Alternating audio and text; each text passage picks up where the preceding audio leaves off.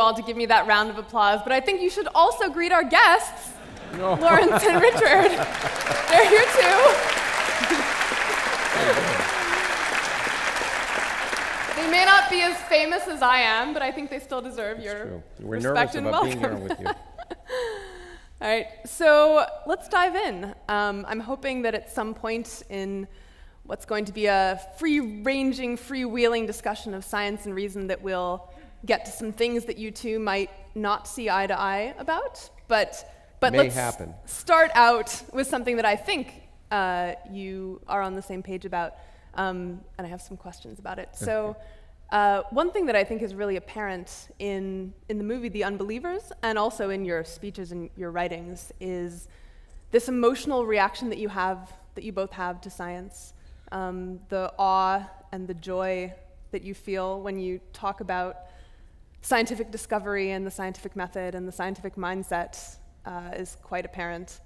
Um, and, and I think that's interesting because it's not actually the default reaction that most people have.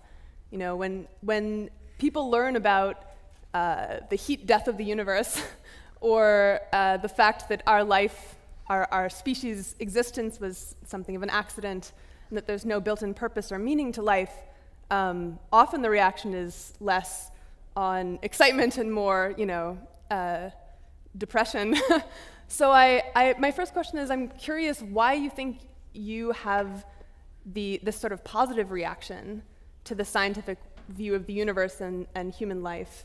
Um, it, eh, well, you know, it's not, but it's, it's, it's, it's the reaction we beat out of kids. All kids start out with that positive reaction to, to the universe. It's, it's a joy in learning. We're, we're hardwired to want to learn and solve puzzles. And, and what happens is that that gets beaten out of people, I think, by teachers. And uh, uh, uh it, so I don't think, I, I think we are, we are told that science is, is hard or boring, and, and that we see that sometimes in, in role models. And, and um, instead, I think everyone, look at the people in this audience, everyone really is excited by science. They, they don't just, they don't know what science they're excited by. They, they're told it's so difficult that they, that they can't enjoy it. And yet, we became scientists because we enjoyed it, right? That's why you became. Yes, and the fact of your existence is the most astonishing fact. The fact that you're capable of apprehending the world, the fact that you're capable of doing all the mundane things that you, you were talking about, Julia, about how the, the normal reaction is just um, not to be particularly excited. It is astounding that we have in our heads machinery, computational machinery, which is capable of understanding why we're here and a long way towards understanding why the universe is here and why the world is, is here. How could anybody not be absolutely riveted by the privilege that we enjoy of being placed in a world that we understand? For four billion years, life has been evolving, and, and finally, now, just in the last few hundred years, few thousand years, a species has arisen which has a brain capable of understanding what it's all about. And we are it. How could you not be completely blown away by that astonishing discovery? How could anyone actually admit without shame to being bored?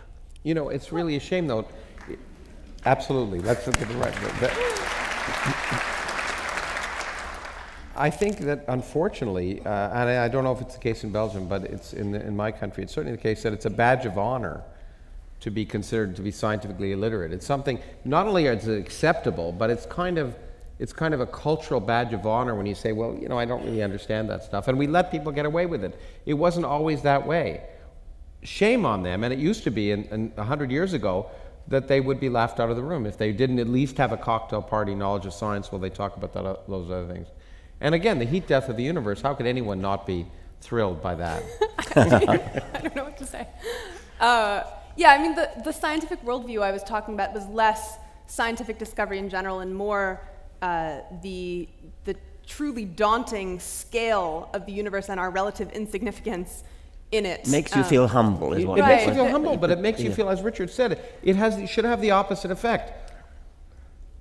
religion supposedly makes you feel good because you're the center of the universe, which is just silly. The fact that we are not the center of the universe, that we are insignificant, as I think I said in the movie, is makes, in some sense, makes you feel more special. It's just such such a fortunate accident that we're here, that and we can we can watch the whole thing happen.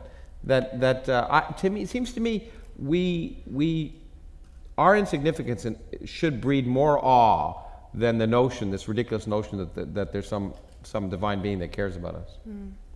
Yeah. I don't, I don't know if you guys have seen this movie, Annie Hall, but uh, the Woody Allen movie. And in the beginning, young seven year old Woody Allen has just learned about entropy, and now he's refusing oh, yeah. to do his homework because none of it matters.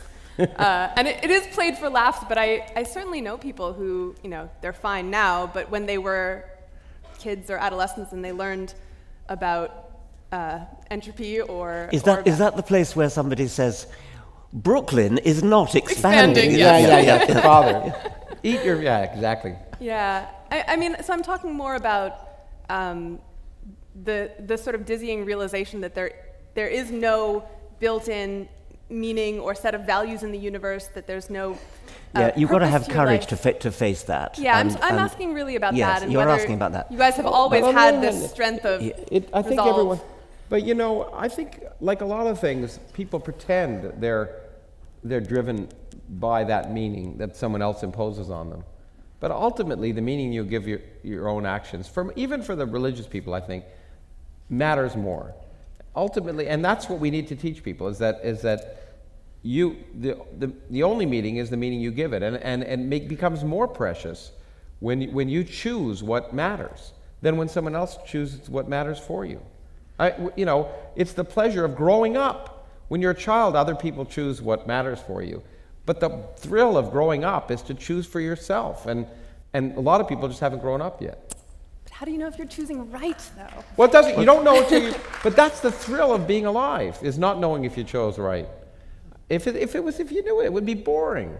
You know, the possibility of making mistakes. And as a physicist, that, I'm, i do that professionally. And, uh, and it's, it's uh, a lot of fun. there is, I suppose, there is a, a, certain fear of the cold unknown. The, the, the, I mean, the universe almost entirely empty. This is a little oasis of life. There may be others, but, um, but I think that's exhilarating. I think, I think the thought that you're looking out at a cold, dark, empty universe, and here we have this oasis of light and understanding and warmth, and, and human affection and uh, all, all, the things that make life worth living and the, the purposes that, as Laurel says, the purposes we make for, for ourselves. Um, it's, there's something false about taking comfort in the face of that from an illusion. Mm. And it, it's better to stand up tall and courageous and face the empty universe and make your own purposes. But, but Richard, when you, when, I know we've talked about this, uh, you, it's not just empty. I mean, we get awe when we get awe, both of us, and I imagine most people in the audience, by looking up at the sky and seeing this vast, yeah, vast, yeah. not just emptiness, but it's full of amazing things. The Hubble Space Telescope pictures are universally loved because people are amazed by the stuff that's out there. And the fact that it's so immense, it indeed confirms their insignificance, but I think it breeds a kind of awe and spiritual wonder that's far as I often say, is far preferable to the, to the spirituality of religion because it's actually true. So. And it's big, it's not petty and yeah. small. And, yes. And yeah, exactly. Yeah. Doesn't, you don't have to pray to it five times a day. Yeah. Uh, this is a slight tangent, but I'm wondering if either of you are worried by the apparent emptiness of the universe uh, in terms of what that might mean for whether our civilization has the has a good chance of, of progressing technologically enough to make it out into the stars. So this is the Fermi paradox. Um, some of you may be familiar with. Um, where where is everybody? Mm-hmm. Yeah, yeah, So where where is everybody? And and if uh, if other civilizations have have not made it to the point where they've yeah. progressed enough to the, the, send the, out. The main reason the for, for thinking there might be other civilizations um, is the, is the t- statistical one that the, that the universe is so mm-hmm. huge and the number of available planets is so huge. But by the same token, uh, it's so big and so spaced out that it would be entirely plausible that there might be as few as a billion other civilizations out there. As few as a billion.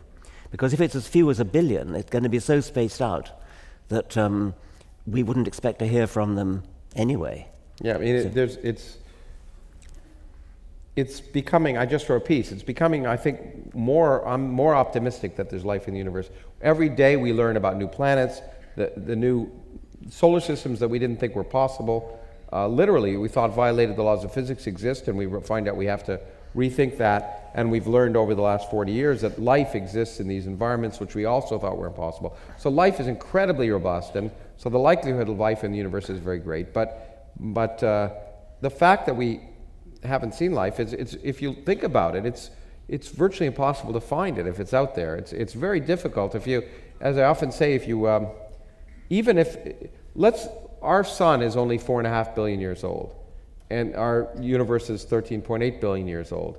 And so there could be civilizations that survive, that have been around for billions of years. I frankly think intelligent civilizations don't survive that long, but, that's, but let's say they are.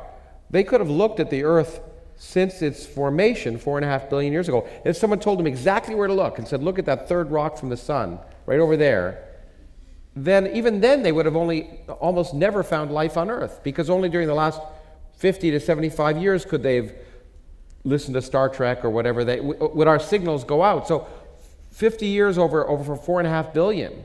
You're talking of a chance of less than 1 in 500 million almost of finding life even on Earth if you knew exactly where to look. And we don't know where to look. And we don't even know what channel to tune to. So well, it's, it's hard. That's actually a little depressing because it, it no, it makes it sound like uh, only a small minority of a civilization's entire history is spent in a technologically advanced age, which makes it sound like we're due to be ended soon. Well, I actually have written a paper about that a bunch of years ago. It turns out, well, it's a little, well, I'll, I'll, yeah, I'll give you 30 seconds of it. Um, it's an amazing fact that our civilization right now works on Moore's law, so that so that my uh, this has more computing power than the Apollo spacecraft did by far. So every every year or so, the computing power of systems doubles, and that's something called Moore's law, and it's been working for 40 years or so. But if you work out, it, it turns out to take energy when to do a computation, or at least at least erase the registers. And we worked out that if Moore's law if it continued for 250 years, it, doing computations at, at, and improving at that rate, you'd use up the entire energy of the galaxy, okay, in, in, in 250 years. So it's clear that advanced civilizations can't continue as ours has. And I think that's profound. To me, that was rather profound. It means mm. at some point they level off. And I ultimately think the solution of the Fermi paradox is that they, at some point, they decide they don't need to talk to us. I mean, ultimately, like, they turn inward would, and would they say, we, go out talking we, to pigs? we know, we know, they, they, we have nothing to learn, and so um, we'll just hang around here and, and stare at our navels or something like that. anyway. Uh, I'd love to return for a minute to, uh, to, to the shift that happens when you replace a religious worldview with a secular scientific mm. worldview. Um, so I was asking before about this sort of sense of meaning that some people feel that they lose with that shift. Um, but I'm also interested in morality and values uh, and whether, you know, yes, granted, uh, I know both of you believe that religion is not a particularly good source of a, a moral system. I believe the word Richard has used is horrible. Uh, that was kind. That, that was, he was in a good mood that day. Yeah. Uh, but, but is there anything that you think can be justified in replacing religion as a source of morality I, I other we, than our own sort of. I think we have to make our morality by intelligent design. Um, taking back that term? Taking back that term. Um, we, we, certainly are not going to get any help from religion. God forbid we should get from get any, any, any, any moral help either from Scripture, which has a truly appalling moral lesson to teach, mm-hmm. or from just the sort of naive being good because you're scared of God, being yeah. good because you, you're scared you'll go to hell. That's, again, a, a very immoral way to get your morality. So we have to sit down together and design our own morality, which is what moral philosophers do. We have to sit down and decide what kind of society we want to live in. what kind of rules we need to live by. Things, I mean, expansions of the golden rule, mm-hmm. do as it would be done by. Um, make, our, make our morality fit our society in, a, in an intelligently designed way. And moral philosophers are doing a pretty good job of that. And I derive encouragement from the fact that as you look at history, there's a really rather rapid improvement in mm-hmm. our moral standards. We're, we're moving towards um, moving away from slavery, moving away from various forms of appalling cruelty, not over the whole of the world, but over large parts of the world. And do you think that's roughly inevitable? It's, it, well, it's, I don't know what, it's a bit like Moore's Law, which, which, which is true, but nobody knows quite why. Mm-hmm. Um, if, you, if you look back to, not that long ago, if you just look back a few decades and listen to um, put, transport yourself in a time machine back to a, a typical dinner party 100 years ago. Mm-hmm and you would be hearing racism, you'd be hearing sexism, mm-hmm. um, women wouldn't have the vote, uh, there would be, um, you'd be utterly appalled by the sorts of things that people were saying. Decade by decade by decade, we're getting better. And, I, and I, don't know what that is. It is like Moore's Law, which, which, which is a, an empirically um, demonstrable phenomenon but nobody quite knows what's driving it and especially why it goes exponential. Right. Um, and the mechanism changes every for, decade or so. Access, you know, as you know, our friend Steve Pinker has written a wonderful book yeah. on, on, on the better angels of our nature. And, and uh, I think in there, implicit in that book, is the argument that, that rationality and the Enlightenment had a huge amount to do with it because you learn part of, you learn that, that the individuals who were slaves are the same as you. You, we, you learn empirical facts that increase empathy at some level, that pain, that, you know, that animals experience pain, and, and, and, and you learn, so I think that, and you learn that, you know, that women are actually equal, and, uh, or if you, you know, if you're married, you learn they're superior, but, um, uh, and by the way, speaking of that, I have to say one thing I disagree with you that I learned from my wife, who I see over there, um, that uh, the golden rule is not a good rule. It's, if you think about it, do unto others as, as you would have them do unto you is not the right thing. You should do unto others as they would have you do unto them. Mm. And it's a really different thing because, let, you know, the example I can think of is let's say, well, I guess it's Belgium, I can say this. Um, let's say, you know, you like to be spanked, okay? Speak for yourself. yeah, well, exactly. But, but don't, but don't, but if that's how I, let's say I wanted to be spanked, you wouldn't want me to treat you as no, I would. Indeed, I wouldn't. Exactly. No, no. Okay. We, we, got here a lot faster than I okay. expected we okay. would. Just okay. so you know. Okay. I mean, I think if you generalize the golden rule, it, it completely Yeah, works. I, I did say generalized golden yeah, rule. Yeah, yeah, generalized version. Like, okay. like I might want you to give me chocolate ice cream, and if your favorite mm. flavor is vanilla, then the rule is not I should give you yeah. chocolate, but I should give you the flavor of ice cream you well, like best. Yeah. Yeah. But, That's but how the I other would save the golden rule. But the other thing that I think is we, we well, obviously we both agree that we don't, and I don't think most people get their morality from the Bible anyway. The only ones who do are the ones who are full of hate, frankly. Hmm. Uh, I think most of us get our morality from from reason. And I asked in the, in the movie, there's a scene where I, I was speaking to a, Islamic audience, and I asked, you know, would you kill your neighbor if he'd stop believing God? And I was shocked. It's the only time I saw people put their hands up. But I don't really think they would. I think most people act the way they do because of uh, rational ideas about how they would, how, what kind of society they would want to live in. Moreover, I think we do everyone a disservice by saying loss of faith as if there's something lost. I think we, we got to replace that word. When we say lose faith, it makes it seem like there's an emptiness inside of you, but there isn't. Faith-shaped hole. You, you know, you gain much more than you lose, and, and, and, and you don't lose anything. And so I think, I think we should work on the language a little bit. I think it comes ultimately from, from rationality, but, but it's kind of filtered through the sort of social engines of conversation and journalism and and um, parliamentary discussions and um, it being morality? jurisprudence yes. Mm-hmm. um, it, it comes ultimately from rationality but things like attitudes to, to non-human animals um, attitudes to children attitudes to women um, the, these are in the air. You, you, you, there's a climate of opinion which is sort of it's not literally hovering over the top of us like a ghost but it, it's, it's in the air in the sense that it's it's part of the, of the culture. Mm-hmm. Um, I mean, the, the decline of, of sexism, for example, mm-hmm. which is dramatic. Um, the way we treat homosexuals, dramatic change. Um, gay marriage is now uh, accepted and commonplace, and, and it's not that long ago, 1960s, it was illegal in Britain. Yeah. Um, and uh, I mean, you, you, could be sent to prison for, for homosexual uh, activities. And you were. And you were. There were. There, there, there's, there's a shift in, the, in this zeitgeist, this, this ghost that's, that's, that's hovering around in, in the culture. And it's interesting to project where it's going to go next, I think. It's pretty hard to know, of course, mm. but, but it gives one hope. I, I, again, I've just written a piece I hope will come out next week in the New York Times, but, but that will, I, people say, and maybe this is one of your questions, I don't want to usurp it, but will, in fact, a journalist was just asking us today, do you think religion will ever go away?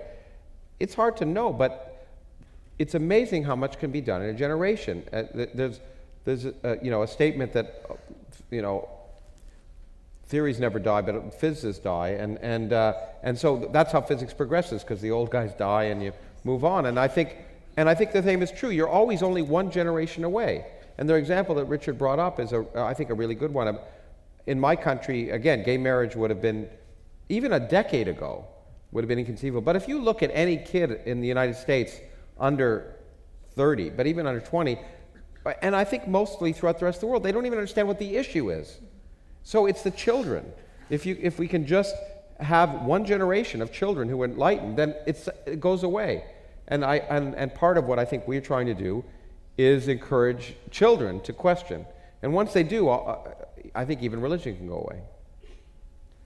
Well, that is actually a great segue into something I wanted to ask oh, okay. you both about, which is um, I, I certainly share your impression or, or conviction uh, that um, that removing religion from the world would have a bunch of good effects. Um, that said, there's some interesting research uh, pointing in the other direction, uh, maybe not wholly, but at least like, mm. uh, you know, a, a, couple entries in the con column um, that are worth noting. So there have been a number of meta-analyses looking at dozens of studies, uh, looking for just correlations between degree of religiosity measured by various things like belief in God or attendance mm. at, at church, and, and various aspects of pro-social behavior. So sometimes that's um, uh, stated compassion for others, sometimes it's number of altruistic acts or uh, degree of empathy, um, uh, cooperativeness, uh, all the sorts of things that we think of as being valuable for society to run well and, and lead to human flourishing. Um, so I'm, I'm wondering. Well, look, there's one thing as a physicist that I really got to point out, and I worry about this when people do epidemiological studies mm-hmm. and social studies. There's a difference between correlation and causation. Sure, sure. So the question but is, where's the chicken egg? The, are the people who are somehow more charitable and more cooperative somehow because in our society religion is an outlet they, they explore, or, or is it, and I, I think that's just as likely as as the other way around. I, I absolutely agree. This is not a yeah. not a, a proof but, at but, all. But, but, but, imagine if it were switched. Imagine if the evidence showed that uh, religious people were more antisocial. Surely we would be holding that up as well, evidence. Well, right? I'll hold you up one. In my country, uh, th- those states, the red states, uh, which are the ones where there, there's more, much more fundamentalism, as you probably know, the incidence of, in fact, uh, unwanted children, the incidence of violent crime, those are much higher in those states. Almost all of those negative characteristics are, in, and so yeah, I guess you can choose what study you pick, but, but uh, it's rather interesting that those states that tout their religious morality the greatest tend to produce the most immorality. That's a, that's a fairly strong e- effect. I mean, that's the work of Gregory Paul, yeah. um, who, did it, who did it not only on the states within the United States, he did it in uh, countries of Europe as well. And, and um, I mean, comparing, for example, the Scandinavian countries where there's great social welfare and ev- everything is kind of cushy, and the least religious countries in, in, in Europe. Um, it, it is a very strong effect. I, I haven't seen the meta analysis you're talking about, Julia. I, I but you know, I think look, look. But at the same time, to to to defend you in some sense in that statement, there's no doubt that I, I, don't think either of us would argue that religion provides certain things for many people: a sense of co- community, in some cases, a sense of a motivation to a charity uh, and goodwill, at least at Christmas. I, and uh, um, and and but I think so. That's fine. But the question is: Is it necessary? Uh, could you find other less let, more, better outlets? Could you mm-hmm. find ones that are more real, that might induce less violence? And so there, religion, look, religion wouldn't have been around in every society that's ever existed if it didn't have some, if it didn't have some effect that was at least positive in the sense of, of, of self-perpetuating. Right. Uh, but, uh, the, but to me, the question is, fine, what are the things that it does provide, and can we mm-hmm. find better outlets for that? I would prefer every Sunday, instead of going to, to church to be, because the reason people go to church every Sunday, I think, is that the stories are so ridiculous that they have to be reinforced every single Sunday to, and, and so, so I, I uh, anyway. I, have said, I, you know, quantum mechanics classes every Sunday would be so much better than, than don't you think? we could sing songs about quantum mechanics. Yeah. yeah. I, I, so I think we, we can't let this topic close without pointing out the totally obvious fact that it wouldn't matter if there was an absolutely cast iron case that, that religion makes you better.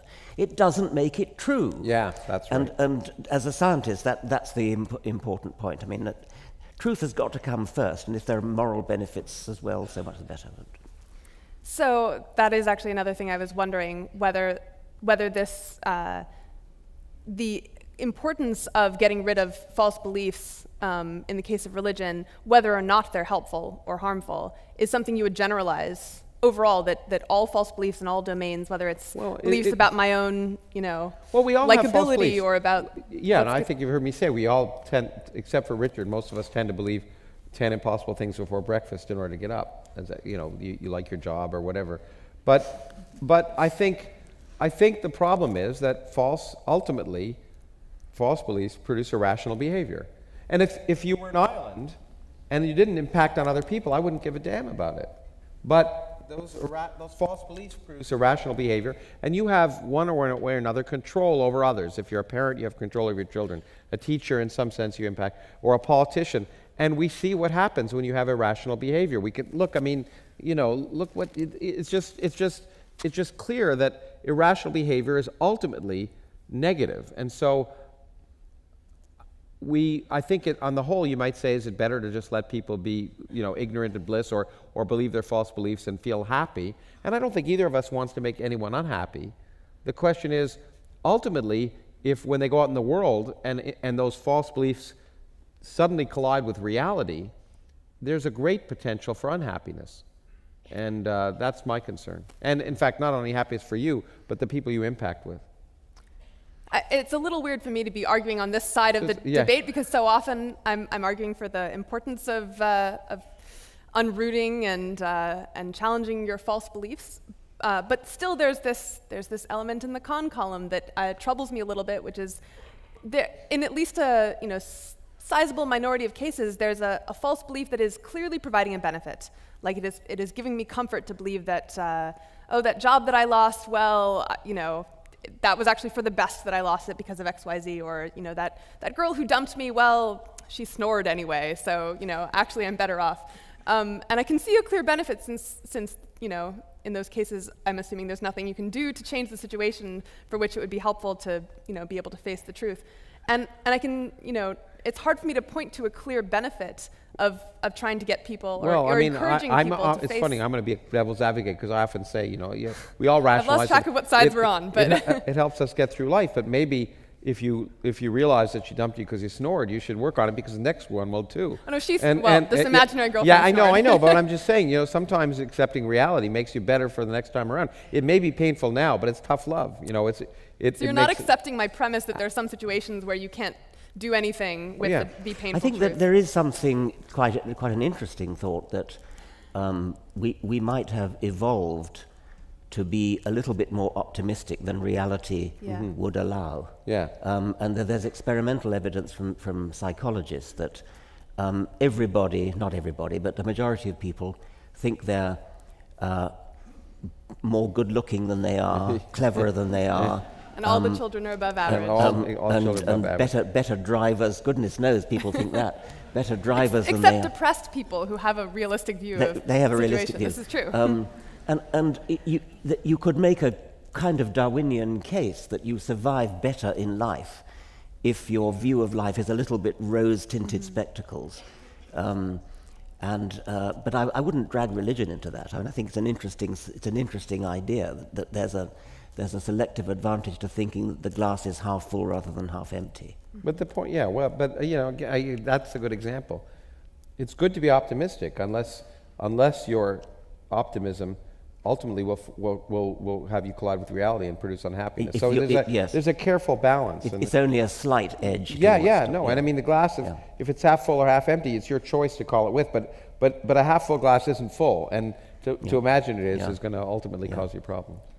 I think to play devil's advocate to my own devil's advocate, you could, you could make the case that uh, being in the habit of, of sort of practicing doublethink and trying to decide, well, should I fool myself in this case, or you know, is it, is it is there a benefit to me to trying to ignore the truth in this case is harmful to your overall ability to seek the truth? Well, look, you know, the other thing is there's a huge amount of evidence. As I keep saying, you know, we are we we have a rational side, but we are not rash, just rational animals. And I think there's a lot of evidence now of studies that show that even when we make rational decisions, that you know, we, reason doesn't necessarily rule over passion. That in fact our brain is that, that there are emotional reasons that we end up making the rational decision to justify the decision we wanted to do. And I think we, we have to recognize we all do that as human beings and, and, and, that, and just get on with it. Do you, do you see the potential for any kind of uh, second enlightenment where we actually improve our, our ability to be rational? Well, science, I, I, think science is a huge part of that, right? I mean, science, the major benefit of science is to get is to second guess yourself.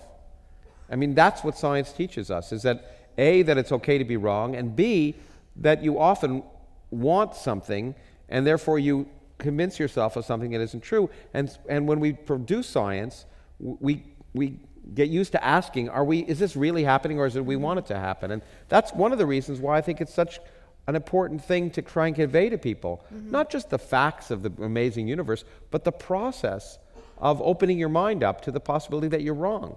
And that's, to me, the best, great, one of the greatest benefits of science. It, it is true that, that, that, that, science has its own built in discipline, its own built in police system, really, to make sure you're not deceiving yourself. Mm-hmm.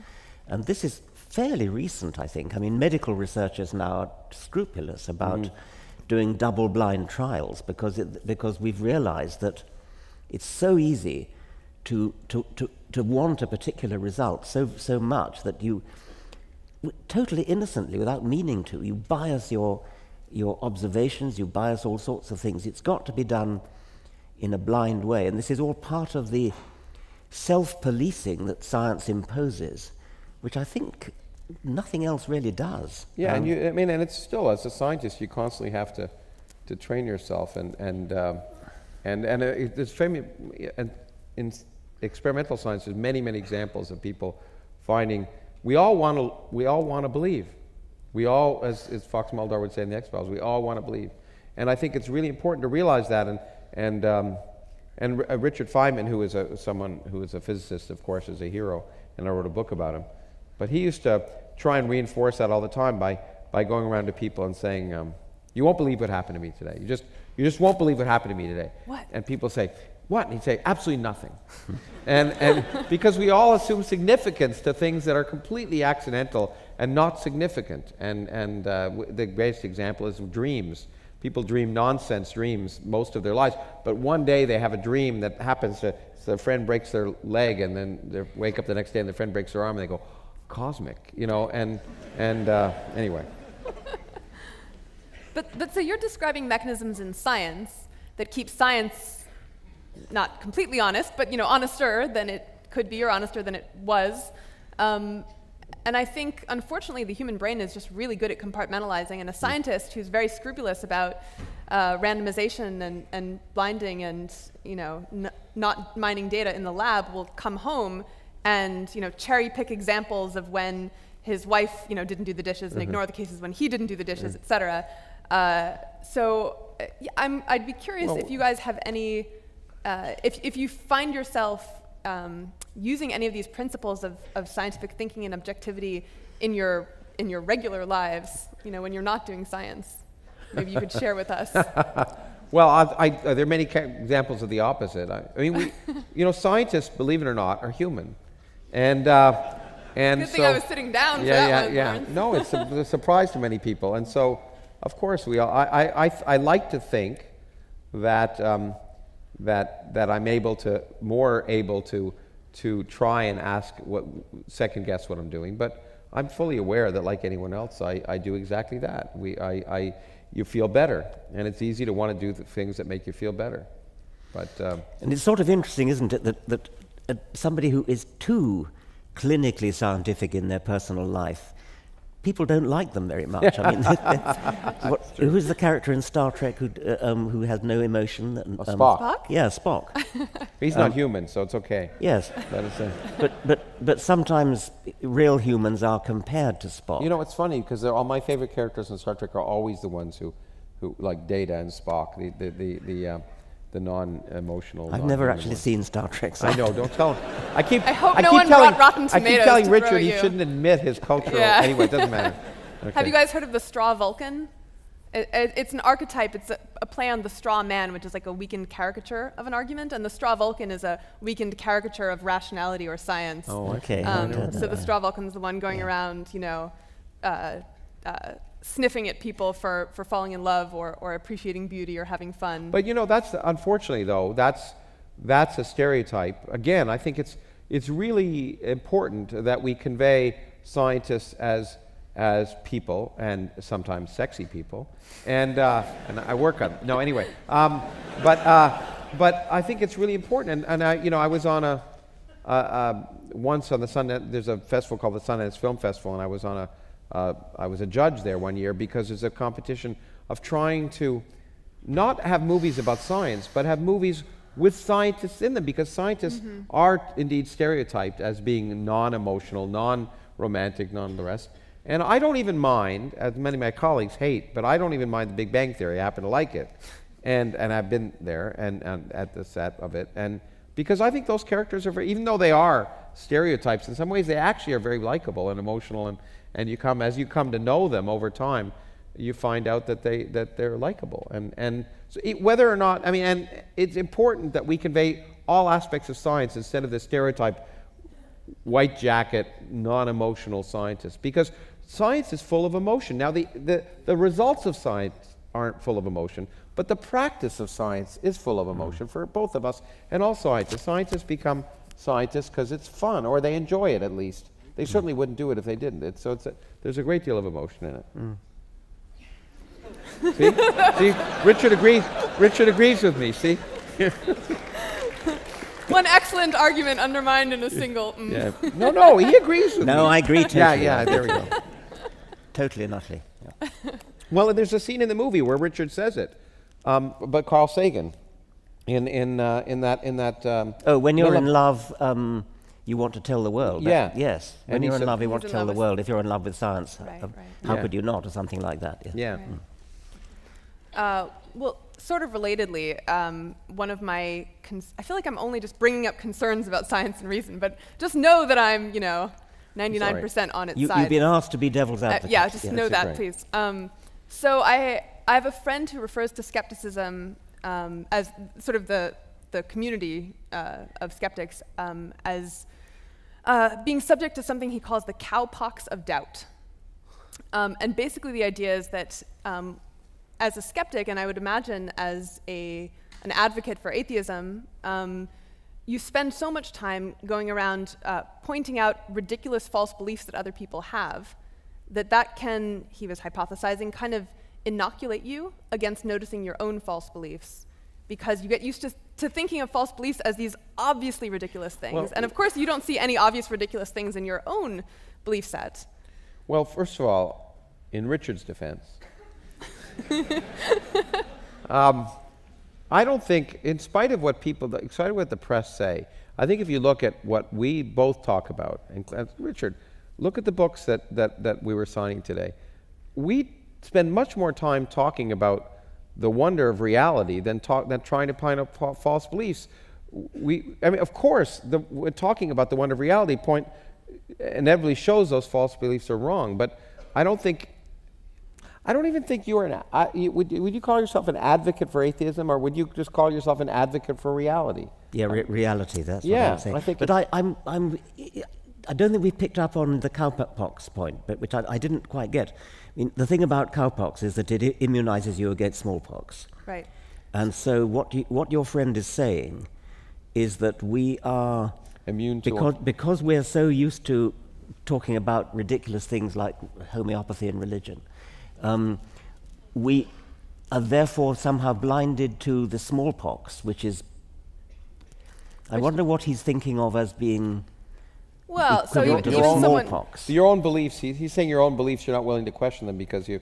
Is that is that sort of the idea? Yeah, yeah. yeah so um, you you know, you, you get used to always being on the clear side of, of correct beliefs, and you, you know, don't spend as much time wondering if what you believe is, yeah. is I, actually I'm, true. I'm struggling to, to make the analogy into a good one. It, um, it, I'll pass that on. No, no, but uh, I think there's, a, there's another reason that we, we, are, we are inoculated uh, because we happen to have a public voice, both of us. Mm-hmm. It's really easy to find out when you're wrong because you just have to say something and you get a gazillion tweets uh, and, and, and so it's, it's, there's a lot of feedback. And, and in fact, you, you have to be very, I've learned, and I assume you've learned, that, it's, that you can say things off the cuff when you're in a dinner party. But when you're in public or if you write it in a book, mm. you have to be much more careful because people will, will immediately jump on it. And uh, that's a good thing, I think. But, but so I think that, that helps, um, has helped me uh, be very, I, I, actually sometimes hold my tongue. It may not seem like it. But uh, uh, to think to about. Yeah, it's hard that, to imagine, yeah. isn't it? Anyway. Uh, do you find it at all difficult to acknowledge when you got something wrong or when, when some. You know I love being, well, I, no, I often say, as a yeah. physicist, that, you know, the best thing, situation to be in if you're a physicist is wrong or confused. And I'm both all the time. I just think it's the best thing in the world. That's great. Because being wrong means you've learned something. There's something new about the world. And being confused means also there's something to learn. So yeah, I have no problem being wrong. And, or in particular, more important, and I think this is a problem that parents and teachers have, I have no problem not knowing. And I think mm. more parents and more teachers should say, you know, I don't know. And because that's, that's uh, the impression that kids get is that, they're, that, that everything is known is a, is a good reason for them not to want to learn anything. Mm-hmm. Yeah, I agree with that. Yeah.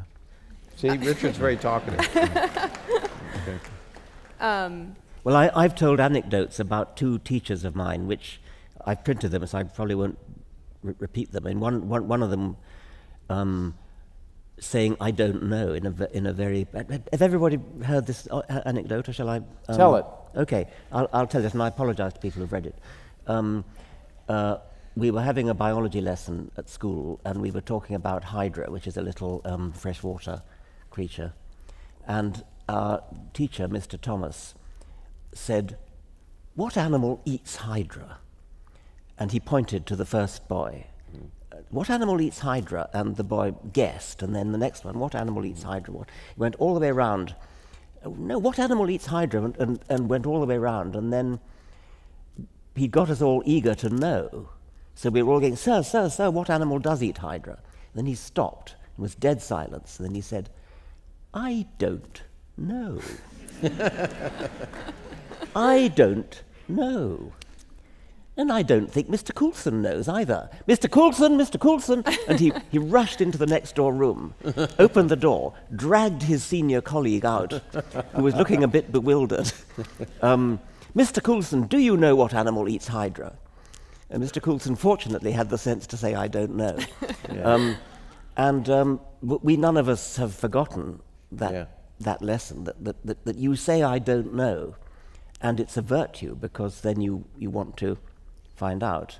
And the, the other anecdote, which I've also published, is of uh, a sort of elder statesman figure in the Department of Zoology at Oxford, John R. Baker, who um, had spent much of his life um, propounding his theory that the so called Golgi apparatus, which is in all mm-hmm. cells, um, was actually an artifact, it wasn't, wasn't really there.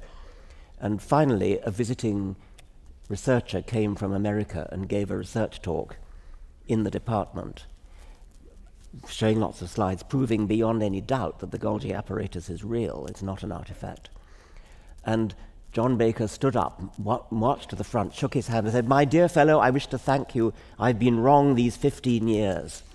And that aroused the most tremendous cheer yeah. uh, from the audience. Whereas in a political context, being wrong is not, you, you, you try not to admit it. If you're, if you're wrong, the opposition shout, resign, resign, and yeah. things like that.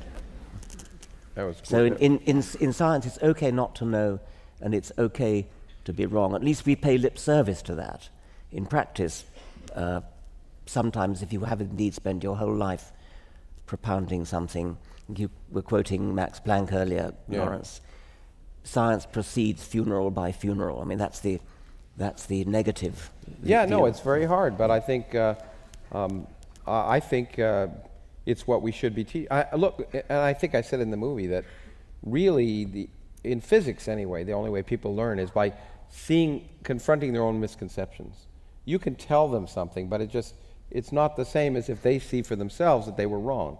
That's, what, that's one of the reasons why I often use science fiction in, in teaching physics, because it's such a storehouse of things that are wrong. And, uh, and, and it's great because you grow up thinking these things, and suddenly you say, wow, that's wrong. And, and then you remember it. You'd never remember it if it's just written on the blackboard. Mm-hmm. So, have either of you convinced the other one that he was wrong about something? I don't think we've really tried it. I mean, because we, are in different fields, and yeah. so and so. No, no, but I think well. Uh, I mean, mm. politics, religion, well, strategy. We first, began, we first met by me. Uh, you know, I think you've told that story about about uh, the first time we met. I argued that Richard was wrong about something. Um, and now did, I've did you convince him? No, I think we've come to a mutual. I think we. I like to think we both moved a little bit in in, in, yeah. in a, in the, in the direction. I've actually just been writing about that in my autobiography.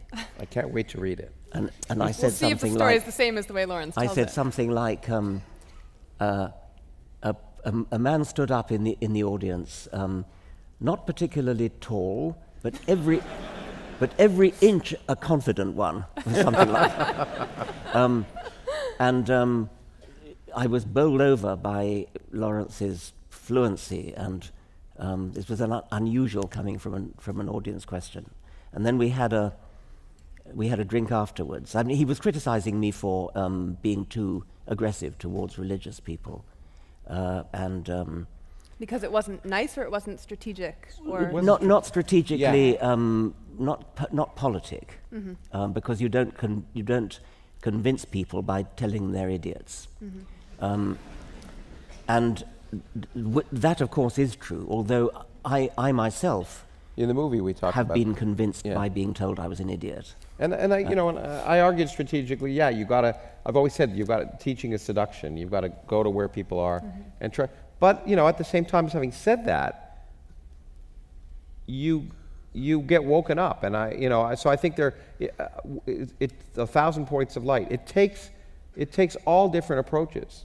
And sometimes kicking you know, someone in the head is the only approach you can have. And, and I think so, so there are many times, the greatest example I can think of where, where Richard sort of convinced me I was an idiot, in the sense he wasn't talking to me necessarily, but I was in the audience.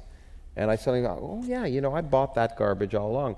It's a wonderful example of yours about that, that newspaper. I've told you about it, where there's a, at Christmas time, there's a picture of these oh, kids. Yeah, yeah, and it's like, um, um, you know, these little kids, and they're all happily playing together. And like, they say, this is a Muslim kid, this is a Jewish kid, this is a Christian kid, mm-hmm. you know, this is a Buddhist kid. And you go, oh, isn't that sweet? And then you think, what the heck? What if we said this is a neoliberal kid? This is a socialist kid. I mean, these are three or four year old kids. How dare we label them?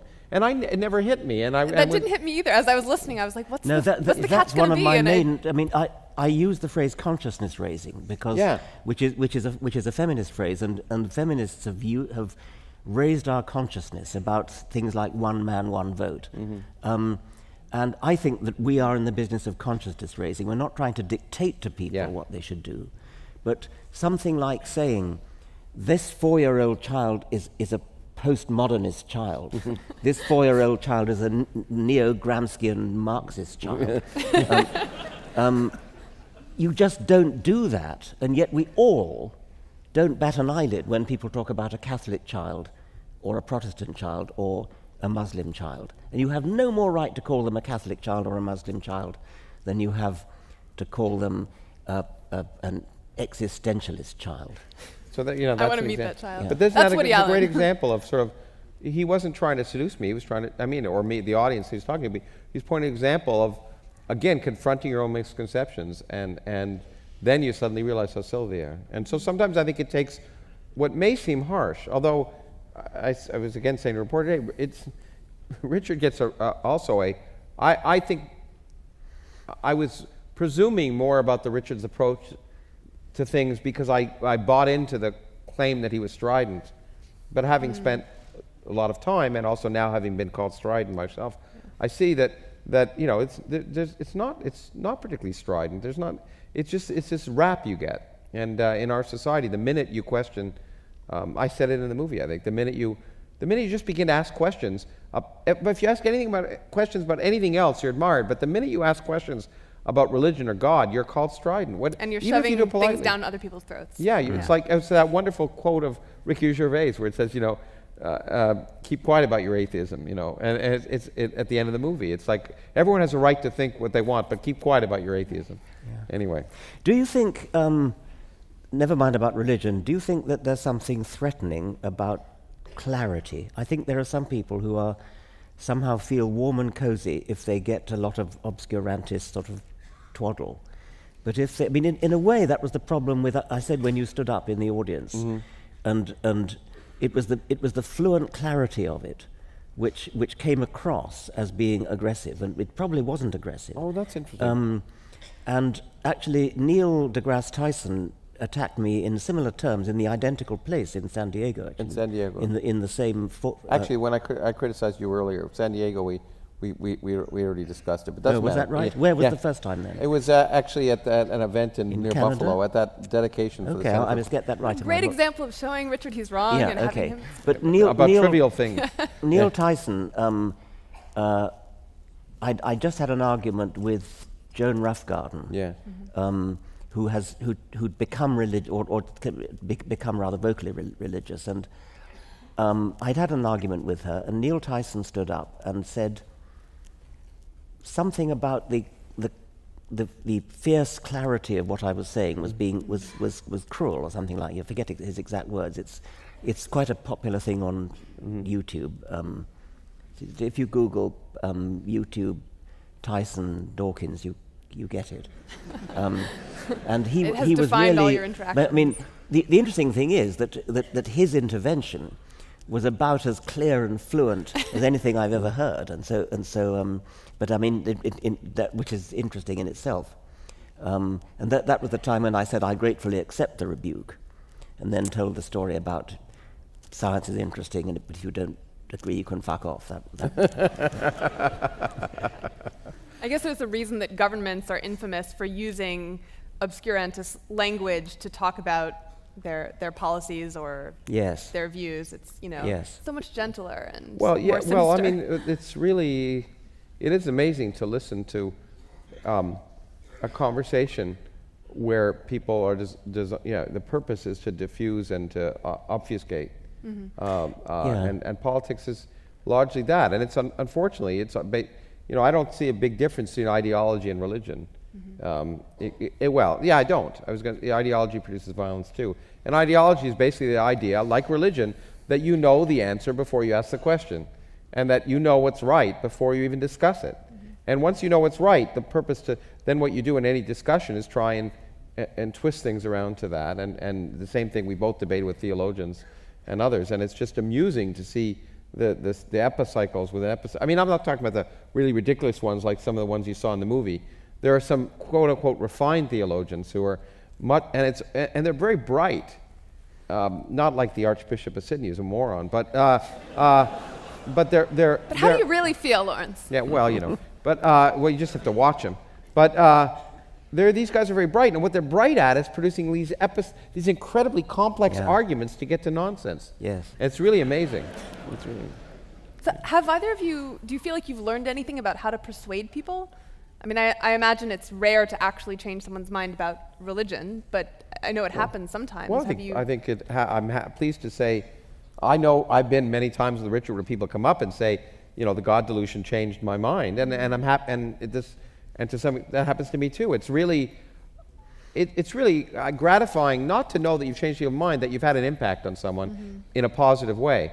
But it, I think it happens, and it happens a lot. And the same thing happens one of the interactions, the nicest things about this movie is people have come up and, or written and said, you know, I've learned that I'm not a, that there are a lot of people who feel this way, and I'm not a bad person, in spite of the fact of what my neighbors or my parents or whatever tell me. And so I think I think it is possible to change people's minds.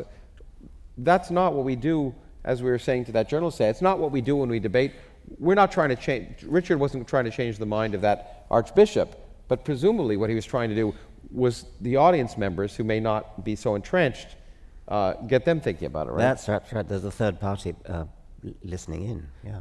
But I mean, I mean is it, is it the, the presentation of your arguments, or is it uh, uh, showing people that atheists, uh, you know, don't actually eat babies, or is oh, it the, the, mocking? It's both of those. I mean, the, we, have got a cam- my, my, American Foundation is running a campaign called Openly Secular, mm-hmm. part of which is to try to get a whole lot of people, a bit like the, the cameos in in the mm-hmm. film in the un- Unbelievers, getting people to, to make just sort of one minute YouTube films saying, I'm an ordinary person, I'm a bus driver, I'm a waiter, I'm a, I'm a, a crossing sweeper, um, I'm a lawyer, uh, and, I, and I'm an atheist.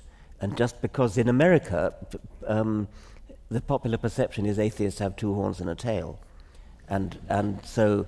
Well, um, we talk about in the movie. I mean, that, yes. it's, it's that this amazing studies that show that atheists are distrusted more than any other group other yes. Except rapists. Yeah, right. But also you, you need argument, you need rationality. But I want to pursue that the thing about clarity because I'm interested in mm. this.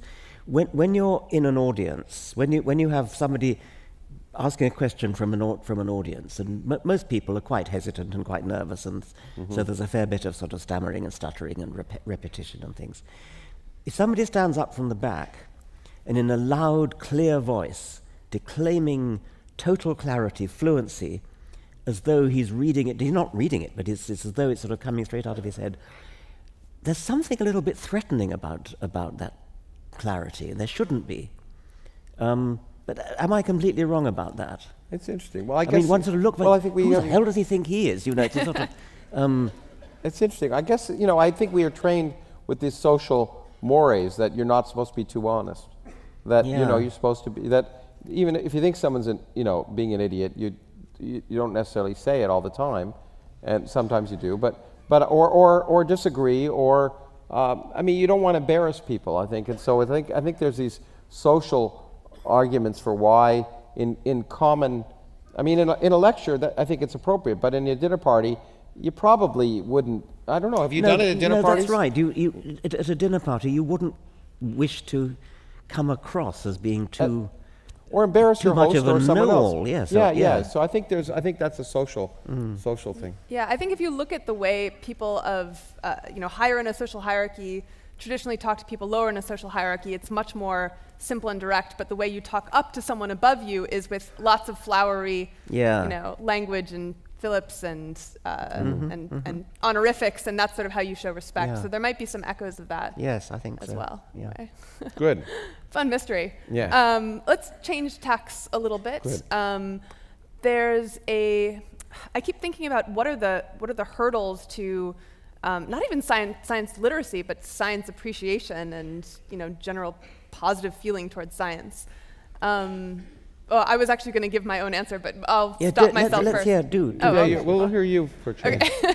okay. Uh, so I don't think this is the main one, um, but one thing that I've been I've been wondering if it plays a role is uh, the fact that you know there's this distinction between really established science, mm-hmm. like gravity and evolution, mm-hmm. and then science referring to new papers that are published, you know, each mm-hmm. each week in various scientific journals. And I don't know if this is true of physics, but for at least most scientific fields, uh, there's just a significant minority and maybe even a majority of papers are wrong in some way, and sure. they fail to replicate if, if you, anyone even tries to replicate them. Mm-hmm. Um, and so you can, you know, quote a nutrition study about how coffee is good for you, and then the next week it turns out that's wrong. And so I wonder how much of people's distrust of science is just, uh, you know, not making that distinction between. I, I think you're right that people don't realize at the forefront of science there's a lot of speculation and there's a lot of garbage. And, but the neat thing is that the, there's a process for filtering that out, and that's what we don't teach. We teach a set of facts, and I think a lot of, a lot of the problem goes to journalists, actually, because they love to report this study, and then they don't explain, then, then when another study contradicts it, they don't they don't ever go back and say, you know, right. now, now we, look, we've tested this idea. So this week this is true, that week that's true, and it's never. And and that I think is a. I agree with you, is a real problem because people get the idea that there's no constancy, that everything we think today will be proved to be wrong tomorrow. And and that, but the important thing is that it can be proved to be wrong. Right. Yeah. That, that, that, that there um, is a um, process. But I think there is. I think Julia's right that, that there's a distinction between, say, big physics where when something's wrong, you know that somebody's going to repeat the experiment, and and um, it'll. If somebody says that there are particles traveling faster than light, then dozens of physicists all over the world are going to be beavering away mm-hmm. testing that. But in medical science and nutritional science, as you say, there's just so much complexity going on, so many different studies going on, so many variables influencing the the point of interest that it's hardly surprising that you get contradictory results, and there's just too many of them to, to replicate. People aren't going to, I mean, many of the studies in my own field of animal behavior, um, you, you, pretty much know nobody's ever going to repeat the, the, the, experiment. It's just there are so many experiments you could be doing, so many different animals, so many different things. The really controversial results get repeated. Yeah, that's the point. The really if it's interesting enough to, to be significant. Yeah. There's a lot of garbage you won't repeat because you, you, as Feynman used to say, again, I have a certain amount of time, and so I'm not going. to, You know, when I've I've used to debate UFO people, right, mm-hmm. and they'd always say, if you do you know do you know do you know about this episode 1946 where so and so, and if you haven't studied that, how can you yeah, say? Yeah. And you say, well, look, you know, it, I have a certain amount of time. And given the likelihood that it's right, I'd rather spend my time on other things. That's right. But yeah. the controversial stuff, I think, gets, does get addressed and uh, gets addressed relatively quickly, but even, even then it may take time. But the, you you hit your point. I think the medicine and biology are just much, that's the reason I do physics. It's just much yeah. easier. it's, it, it, it's, it, it's, it's, much easier to do experiments. It's but, noisy. but it's the hard science. I don't. But, well, but it's, it's the hard, I don't know why they call it the hard science, because, but it literally is easy in the sense that it's well, it's easier to define things. It's easier to get rid of the the variables that aren't relevant. Whereas in human studies or medical yeah. studies, and you can do, you can, you can have 10 trillion collisions at, at the Large Hadron Collider, but if you're doing an epidemiological study, a large sample might be three people because it's hard to deal with, do experiments on people. That means you should be, by the way, much more suspicious.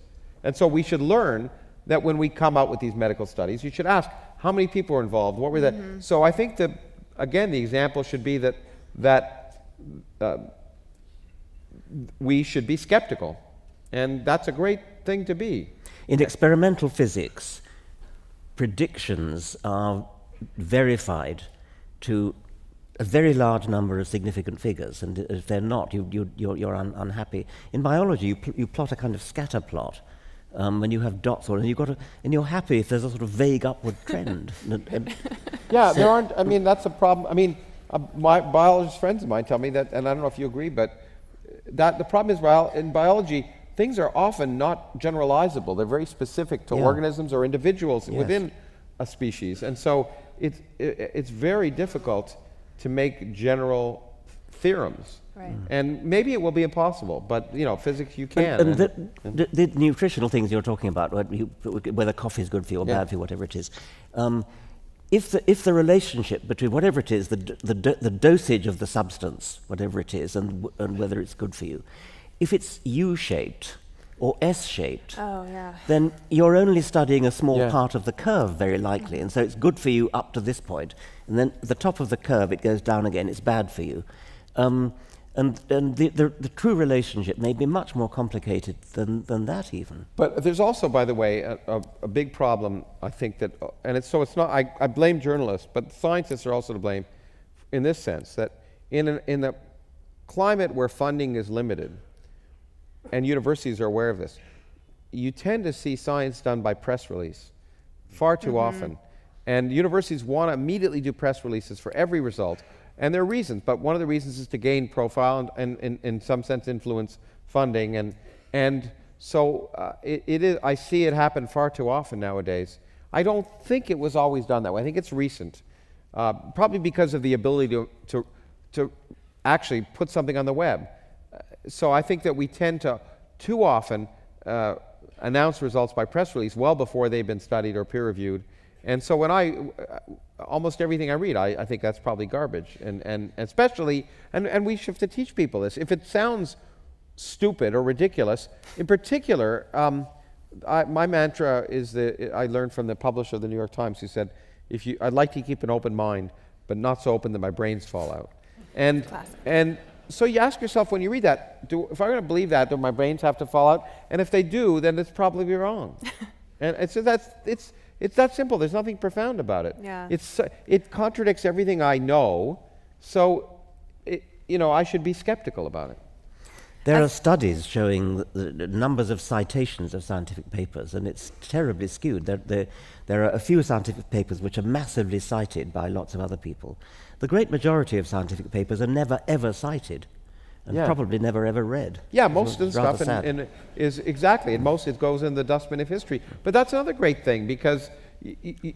the way you do science is having an idea that actually has an impact on others. It's not just, if you claim it, it's one thing, but when other people find it interesting to test that idea, then it's important. And there are some really good examples in physics, I don't know if there are in biology, of actually one of the most cited papers in physics um, by Steve Weinberg, uh, who won the Nobel Prize for it later, was had one citation for the first 10 years. Yeah. It was not because it just, it just, the things hadn't caught up with it. Too far ahead of its time. In a way, yeah. yeah. And, and then, and so it's neat to see that that, that the discipline can find, eventually find the gems in the coal, you know. Mm. Mm. As a depressing capper to that thread, uh, one of the most controversial papers in psychology uh, in the last few years was Daryl Bem's paper purporting to show psychic evidence for psychic powers. Mm. Um, this was published in, in, like the top psychology journal, and uh, a group of other researchers did a replication of it, and it failed to replicate. And they brought that to the journal, and the journal said, "Oh, we don't publish replications." Wow. Yeah. Yeah. No. it says something about psychology, doesn't yeah, it? Uh, yeah. I'm not going to applaud not that. Not a lot of psychologists in the audience, I see. um, so, do you have any advice for people for how to distinguish the science they can, like, you know, confidently quote from the science they can't, or is it is it just well, I tried to say, um, first ask yourself, is it, does it seem reasonable? Now, look, it, it just because it doesn't seem reasonable doesn't mean it's true, but it's a good first pass. Mm-hmm. And don't believe, so don't believe what you read. It's what every, everyone tells, it's not just science. Historians, any teacher should be teaching kids to be skeptical and be critical mm-hmm. of what they read. And, and then ask yourself, is it logical? And are, is there evidence against it? And that, those are guidances for life, and that's what I don't think we should teach science because of the facts of it. I mean, I, I love the facts of the universe. I like to get people excited about it. But in school, most people aren't going to become scientists. What right. they really need to learn are those techniques. Right. Is it something I, I desperately want to believe? Yeah. Then, then, then be skeptical about and it. And is the person who's saying it got a vested interest in right. it? And that's always amazes me that people, people uh, when you, politicians give remarks, and you ask, you know, when a senator from a coal state in my country mm-hmm. says, you know what, global warming isn't real. You got to ask yourself, well, let's see, what interest do they have in making that statement? And no one, and, and, and even journalists don't, aren't open and saying, well, this guy is, or many journalists, they say, you know, maybe, maybe he's, maybe he's got a reason and a vested interest for doing that. We shouldn't listen to him. There's the rules of politeness and niceties yeah. getting in the way of clarity well, again. Well, journalists should not be nice. no, I think, I think there's a huge problem of, uh, in, again, of journalists well, but it, there's a problem with it anyway. It, it, if you're not nice, then you don't get invited to the White House press briefings. And so there's this, and Noam Chomsky's talked about this a lot. If, you're, if you don't play along, then you don't have access. Right. And so there's this, there's this real, real Very issue. Very narrow yeah. path to walk, yeah. Uh, I don't know if I mentioned this to you guys, but we have a, a surprise video guest uh, who wanted to make a comment for you to respond to. You know Rebecca Goldstein? Yes. Oh, yeah. All right. Uh, just, with, just, with, her. Maybe the video people can uh, start putting look? the projection up. Up there. Just to introduce her, she's uh, a novelist and philosopher. Um, she did her PhD in philosophy, and she's written a bunch of books um, on Gödel and Spinoza, uh, Plato, and, um, and she won the MacArthur Genius Grant, um, which is a prestigious uh, award to young, young researchers. So she, uh, I, I, told her about this debate, and she wanted to comment uh, remotely um, and see it's what you guys have to everyone say. Everyone keeps calling it a debate. It's a discussion. Oh, yeah. I was okay. complaining about that earlier, and then yeah. I did it myself. Okay, okay. All right, Rebecca, over to you. Hi, Richard. Hi, Lawrence. So I think one of the reasons that scientists often regard philosophers as, well, ridiculous is that they view philosophers as trying to do the same thing that they're doing, that scientists are doing, as um, being in competition uh, with with scientists. Um, and you know, quite frankly, if that's what philosophers are up to, then they're ridiculous. I'm going to propose um, a different alternative, and I'd love to get your reaction to it.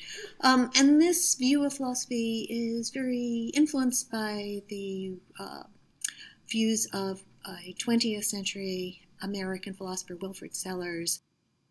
Uh, Sellars uh, proposes a view of philosophy as a kind of mediator between what he calls the scientific image of man, uh, which is, of course, always progressing, and uh, these core intuitions that we have, um, that we bring to bear in trying to make sense of the world. And uh, some of them, frankly, uh, clash uh, with the um, with the scientific image. They have to be corrected in the light of the scientific image, or uh, maybe they do, maybe they don't. Uh, so, for example, our view of time is flowing. Does it need to be corrected in the light of, of uh, relativity theory? Our views about free will, do they have to be uh, corrected in the light of um, uh, the scientific image and what it has to say? Um, uh, about, about, our choices. I like this view very, very much because it shows science and philosophers joined at the hip and joined together um, in the project of, of reason. So enjoy your conference and bye bye. So I, I invited her to submit a question because I know, um, I think both of you, but especially Lawrence, have clashed with philosophers over uh, what role philosophy has to, to play in our, our uh, search for knowledge said, and, and truth. I think she said what I said, but you know she didn't. She said it more politely. Um, uh, that philosophy doesn't have a role in. Uh, if I interpreted what she said right, and it was hard to hear everything there, that um, philo- that philosophers can reflect on what scientists discover, uh, but but the discoveries are not up to the philosophers, and and that, and that's not a pejorative thing. It's a fact. That, and it, it depends on the field. In physics, philosophy has no place whatsoever. I mean, in the said professional philosophers, it's not as if we don't, people say, but I'm doing philosophy, I'm asking philosophical questions. Yeah, but the questions in physics are, have moved so far beyond the kind of early questions that philosopher asked, philosophers asked that physicists don't read philosophers, they can't spell philosophy. And, but there are other areas of human activity where we don't know things so well, like consciousness. Mm-hmm. And there, philosophers have a much more important role to play because they can frame questions. But the answers ultimately are determined by the scientific method, not by pure thought or philosophical reflection. I don't know. I, am trying to think of, of, I mean, I, I do get something out of reading philosophy papers sometimes, and I'm trying to think um, what would be the best examples I can think of. Something like um, the sort of brain in a vat thought experiments mm-hmm. where you, you, Im- you imagine something that's not actually possible to do, yeah. but nevertheless, um, if you uh, download every single bit of your b- brain, or indeed your body, into a, into a different p- person by some futuristic science fiction teleportation system. So at some point in time, a twin of me is created who is exactly the same in every atom and presumably has exactly the same memories, the same thoughts, the same desires as I have. Um, from at, at, the moment of his creation, we are the same person, but then we start diverging mm-hmm. uh, because we, we are, we're no longer in the same place, we go into different places. We then I mean, th- that's philosophically interesting, it's paradoxical, it makes you think what is the nature of personal identity. Mm-hmm. Um, similarly, when a split brain patient, and this is where some real science comes in, yeah. in a split brain um, person, um, where you can show that the brain, the side of the brain that controls speech, says something different and sees something different and understands something different from the other side of the brain, which can only communicate by pointing, for example. And so you have a contradiction between what the left brain and what the right brain knows. Um, well, if, say, the left brain votes conservative and the right brain votes Labour, or the left brain is religious and the right brain is, is an atheist, um, or if the left brain has criminal tendencies and the right brain is very law abiding, um, does this raise problems about personal identity? Does, does it raise problems about um, justice? Uh, can, you, can you sentence this person for a crime when only half the brain did it? And the split brain, the split brain um, is, a, is a particularly extreme example. But then you could say, well, um, multiple personality syndrome, where there appears to be, um, this is again importing some science into it.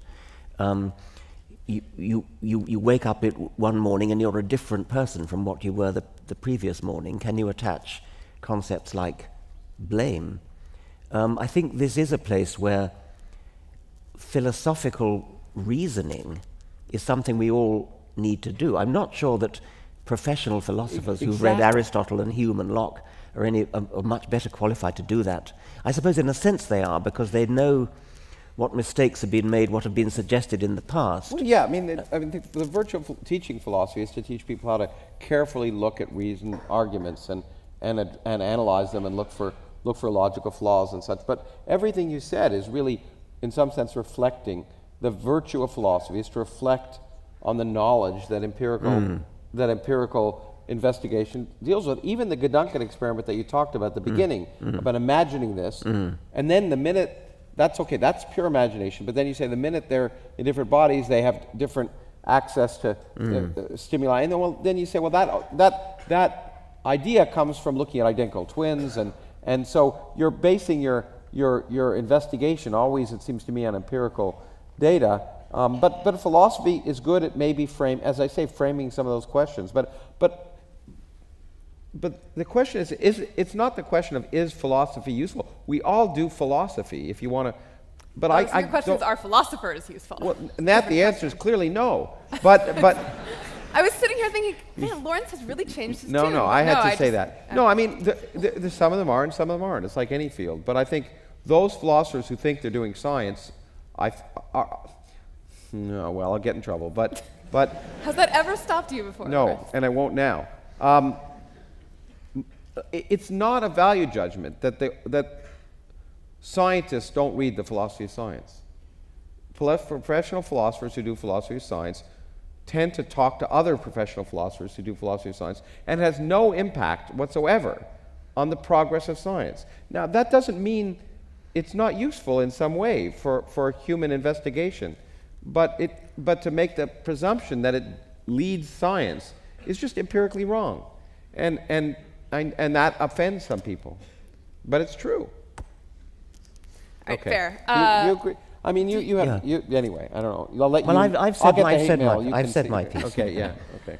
Uh, now I want to uh, introduce another um, guest questioner, uh, Professor Herman Philipse, who is actually in the audience today, so hopefully one of our uh, assistants can, can locate him. Um, uh, Professor he, Philipse. He is located already. Oh, excellent. So let me just give him a brief introduction. He's a, a professor at Utrecht University. Forgive my pronunciation. Oh, hi, everyone. Uh, there they are. He, there are people out there? Yeah. Okay. Look, oh, the people up there, too. Uh, arguably, I, I, think you could call him the Dutch Richard Dawkins. Uh, I've heard that term bandied about. Oh, um, he's the writer of the Atheist Manifesto, um, as well as a, a, bunch of other books, and most uh, recently, God in the Age of Science, question mark. Uh, so if Professor Philipse uh, is so inclined, uh, we've, we've been talking a lot about the interaction oh, between science and philosophy. Yeah. I know you have a lot of thoughts on those subjects, some of which might contradict those of our guests. Uh, if you'd like to ask a question, we'd appreciate it. Yes, let me first express my delight to be in presence of Lawrence and um, and Richard again. Uh, I greatly admire their writings, and I must confess that I, I agree with most of what they are saying, even what is said about philosophy just now. I think that since about the 1920s, no philosopher who is, um, well, well in his wits will claim to do factual discoveries or so yeah. on. So, so what philosophers now, nowadays do is much more logical analysis of text and clarification of concepts and so on. And my question um, is related to this type of clarification. When I read both of the books, um, well, when they were published, so The God Illusion, delightful book, I can recommend it, and then The Universe from Nothing, which I recommend as well. I saw that um, there was one rule that you both applied, and that is the principle of simplicity, or, or what was mentioned in the beginning of this evening that if we have a complex explanation and we have a more simple explanation, we should prefer the more simple one. And you both seem to, um, well, to accept that one.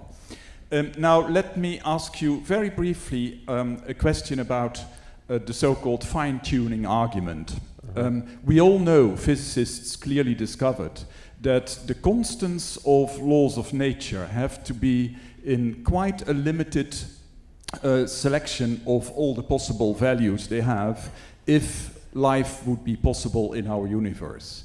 And that's called fine tuning, and it is a very complex topic. I will not go into the complexities. Now, there are three different explanations of fine tuning. If you wonder why is our universe fine tuned for life, so that life is possible, there are three possible explanations. One is it's simply a matter of accident, completely accidental. Now, most physicists would probably react by saying, well, then it is very improbable. Another explanation is God designed the universe in such a way that life would be possible because He's good and He intended to do that. And then, of course, the likelihood of fine tuning is very, very high, maybe even one. And a third explanation says, well, let's suppose there is a multiverse. There are maybe infinitely many worlds. And of course, we live in a world that is such that life is possible, otherwise, we wouldn't be there. But there are infinitely many other worlds in which life would not be possible. And then, of course, the likelihood that life is possible in one of these worlds is also very high, maybe one. Now, both of you prefer the multiverse hypothesis over the God hypothesis. But of course, philosophers would say, well, the multiverse hypothesis is much more complex. It posits much more many more entities. So, according to your own rule, you should prefer the God hypothesis. What of that? What about that? Well, you uh, don't really believe that, do you? Oh, of course not. But well, I, I, I, want to know your answer. I'll, I'll, let, I'll, let, I'll let Richard answer first because I know what it's going to be, and, and it's going to be a good answer. And then I'll, I'll come up with something else. So go start. Uh, Start. first of all, my, our, our research group in Oxford used to have a, a thing which we called the Cambridge version of Occam's razor. And the Cambridge version of Occam's razor is never be satisfied with a simple explanation if a more complicated one is available. um, but I, I, would absolutely dispute, and I'm sure uh, Professor Philipson would as well, the suggestion that the God hypothesis is simple. Yeah. Um, it is not simple. Uh, the, the, the multiverse hypothesis actually is rather simple. It's rather extravagant. It's wasteful in the sense that it postulates a very large number of universes. Um, but the God hypothesis is a total non starter because it postulates the very thing that it's trying to explain, which is something improbable. We're trying to explain the alleged fine tuning of the universe, which, by the way, not all physicists accept. Some of yeah, them. I'll, I'll elaborate on you that. elaborate on that. Um, uh, but even, even if it's true that the universe is fine tuned uh, in the sense that perhaps the physical constants, half a dozen or so physical constants, if they were ever so slightly different, um, if any one of them was ever so slightly different, then um, we wouldn't have a universe like we have that's capable of generating us. Um, the, the God hypothesis has got to postulate a being, an entity, which has the cognitive ability to know exactly how to twiddle those knobs of the physical constants in order to get them exactly right. And that's just as difficult a problem as, as simply saying, well, the knobs just come already twiddled. It doesn't solve the problem at all. And one of the things that that Darwin is, we're way out of, of, of Darwin's depth now, and he's talking about biology. But one of the things that Darwin did for us is to raise our consciousness to the power of explaining things in terms of simple beginnings and development into complexity later.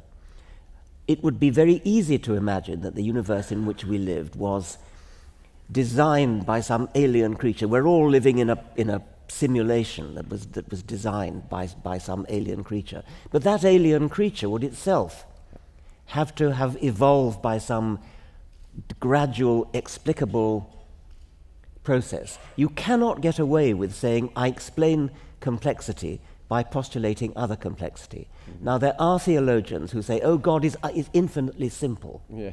What utter nonsense. If God was infinitely simple, he couldn't, he wouldn't know how to fine tune the universe. And he certainly wouldn't know how to listen to your prayers, forgive your sins, decide who to save from cancer and who not to save from cancer, and all the other thing that he's supposed to do. But even if we just let him be a sort of deistic God, he wouldn't know how to fine tune the universe unless he was already fine tuned himself. That's a complete non starter. The multiverse theory, uh, it's, it's disputable whether you'd call it complex. I don't think it's that complex. Um, but it's, it's sort of, it's got a kind of Darwinian feel to it, which I quite like. Well, let, let me, yeah. okay, I, I knew Richard would allow, go, hit that key point that, that God, I, God is not simple, but, it, but, there's, but there's two major faults with your premise. Um, first of all, it turns out the multiverse hypothesis is relatively simple, but you know, you, you don't need it. And in fact, I just wrote a piece, it's in the New Yorker today, and it's, that points out the big fallacy. You, what you said is, in my opinion, logically incorrect in the sense that you're assuming that those are the only three arguments. You're assuming the universe is fine tuned for life. But more likely is that life is fine tuned for the universe. This is exactly the problem that Darwin solved in the case of life on Earth. People thought the Earth was fine tuned for life, and that's why there had to be a God. The, everything was designed on Earth for man or beasts and how could, you know, everything was just set up and God had created the Garden of Eden and all this stuff? But what Gar- Darwin showed was no, life is fine tuned for the conditions of the earth, and natural selection fine tunes different species to exist in the environments in which they live. So the fact that the constants of nature allow life to exist is to, forget the multiverse. It's much more likely that life happens to exist in this universe because it can. And if it couldn't, it wouldn't. And it's so that, life is, as we know it, is fine tuned for the universe in which we live. But you also make the presumption that all life must be like the life we experience. And of course, that is also a closed minded assumption. If the conditions and the constants of nature were very different, we do not know, but, how, but it's presumptuous in the extreme to assume that other forms of very different kind of life couldn't evolve in that circumstance. It's true that the, the conditions, the, find, the constants of our universe were vastly different. We couldn't evolve, but it's presumptuous to assume something else couldn't evolve. So the whole question is a red herring in my mind, and it makes the exact mistake in cosmology that people made in, about biology before Darwin. And I think what we're learning is that cosmology hopefully can, can, can have the same realizations that Darwin developed, which is that, that it's, con it's confusing cause and effect. So, you know, yeah, anyway. I think you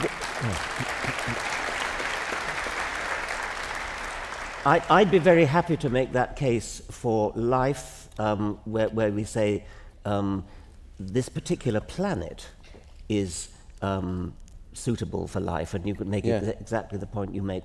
However, I suspect that Dr. Philipson would come back, and I think rightly, and say, we're not just talking about life.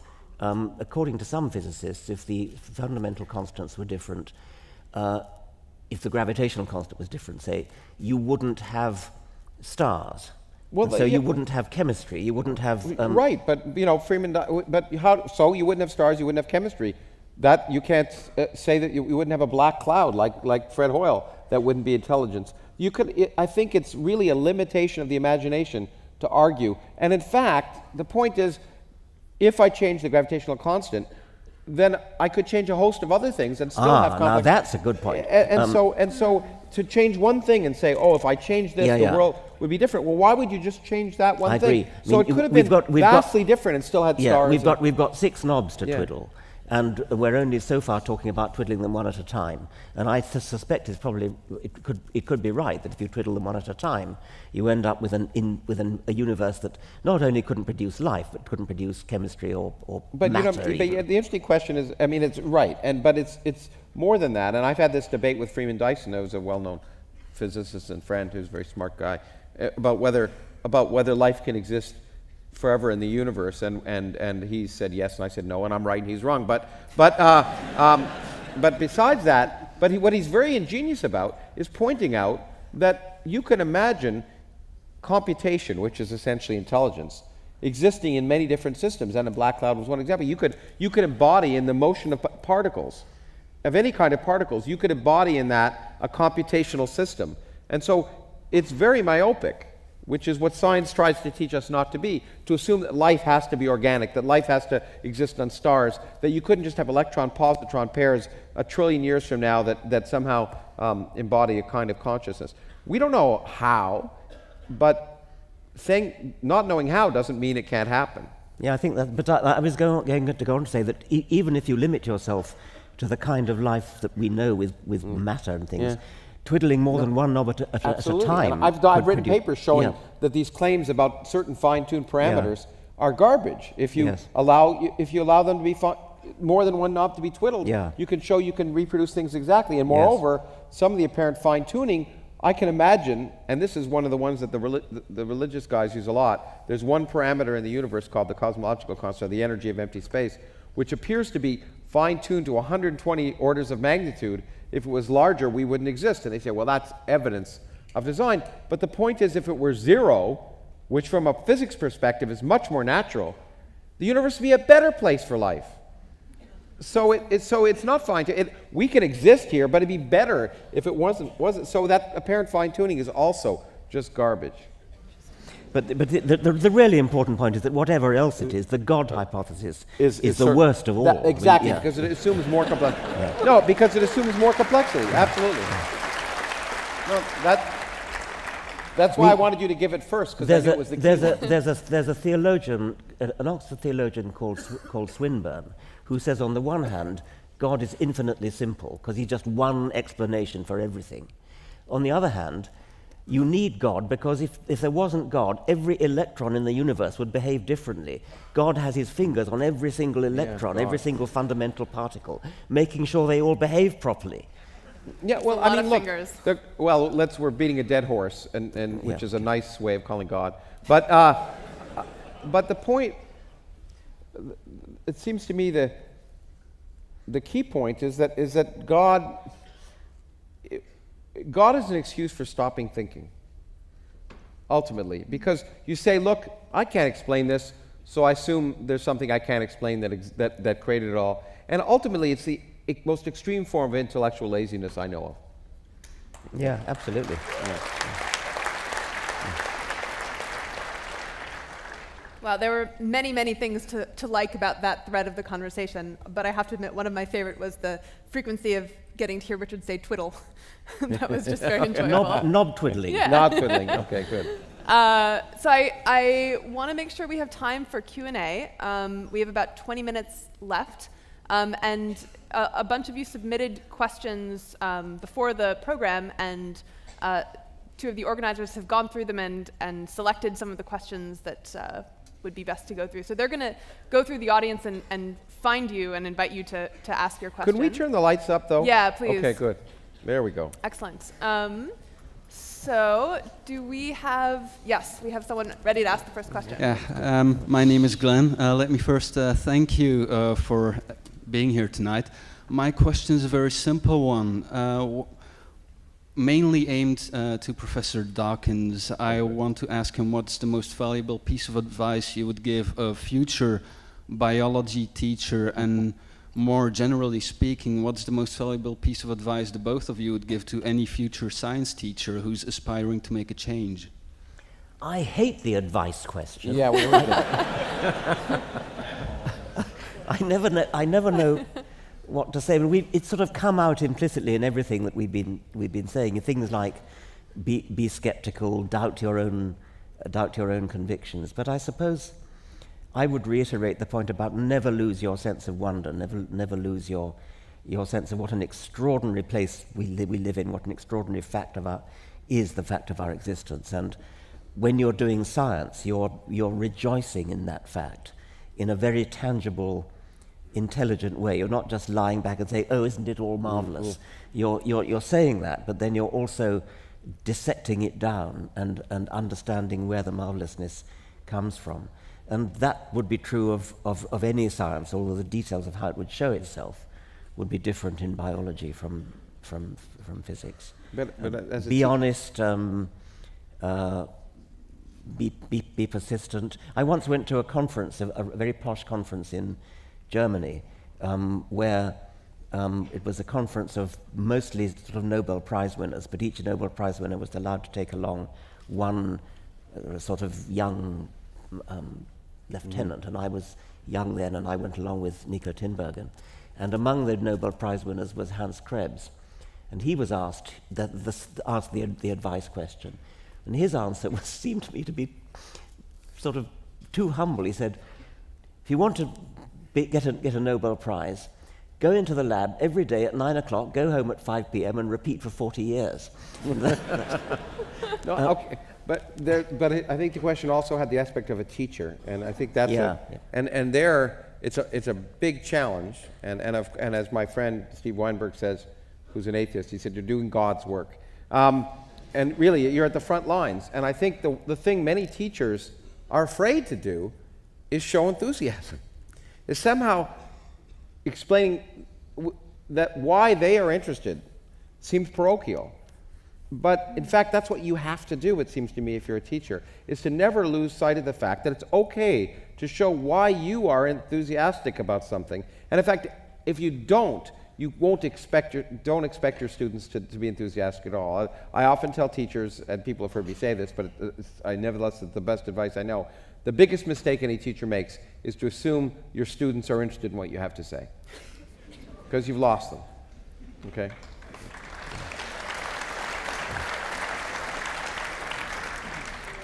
You have another question? Somewhere? Ah, there we go. Uh, hello, my name is uh, Stan. Uh, I think uh, these days uh, Catholic Church is losing its influence. Think, do you think that? Uh, do you think religion will die out, or at least practically die out before humans go extinct? Before what? Before humans go extinct? yes. Yeah. Oh. Start. Well, there's a difference between hope and expectation, isn't there? Yeah. Um, uh, I, I, I think it's, it's I, I, gain encouragement from the shifting zeitgeist. It's not just a shifting moral zeitgeist, it's a shifting intellectual zeitgeist as well. Um, the more educated countries, the more educated people, the less likely they are to be religious. Um, uh, social welfare tends to be tends to undermine religion for the, the, the Gregory Paul thing that um, Lawrence was talking about earlier. Um, looking at the world today, one has to be pessimistic about the Islamic world at present, um, but they, they, they, are 500 years behind, yeah, whatever sure. it is. And um, so um, 500 years sounds like an awful long time. And I, I, don't think we'll be extinct in 500 years, although it's not, not impossible.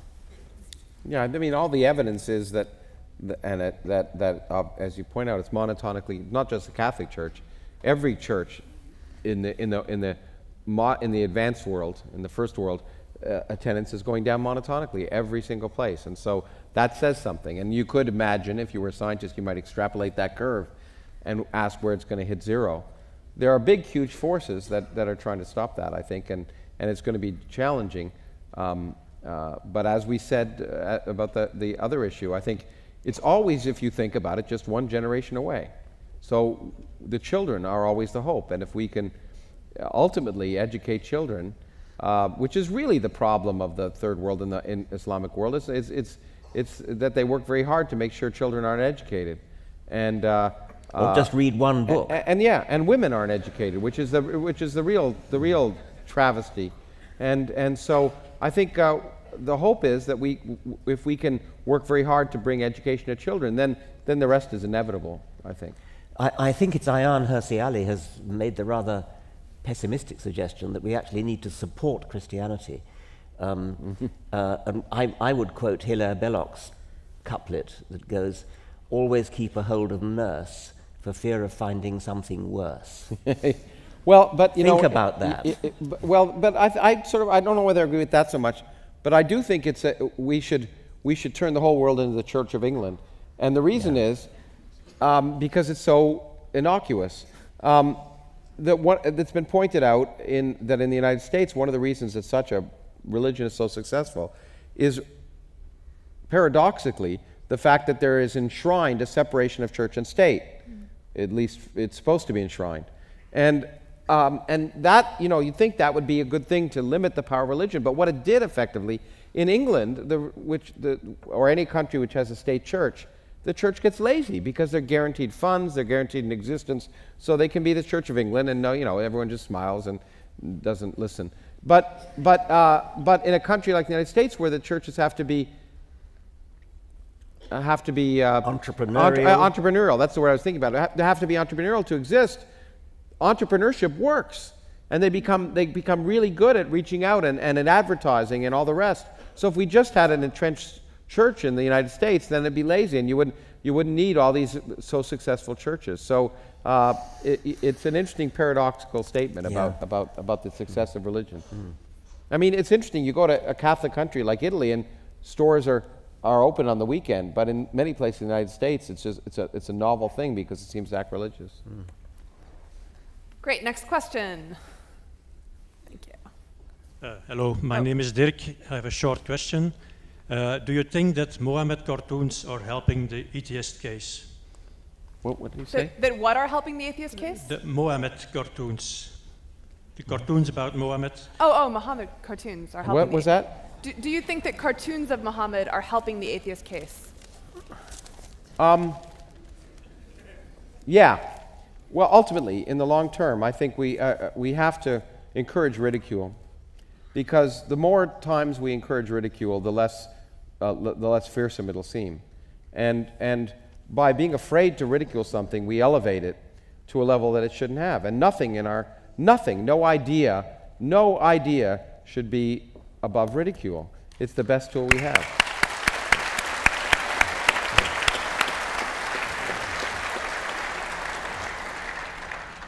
I think one of the most shocking things about not just this episode, but going back to the Salman Rushdie yeah. fatwa is the way uh, our kind of people, liberal intellectuals, uh. have betrayed intellectualism, have betrayed liberalism by um, doling out this ridiculous respect.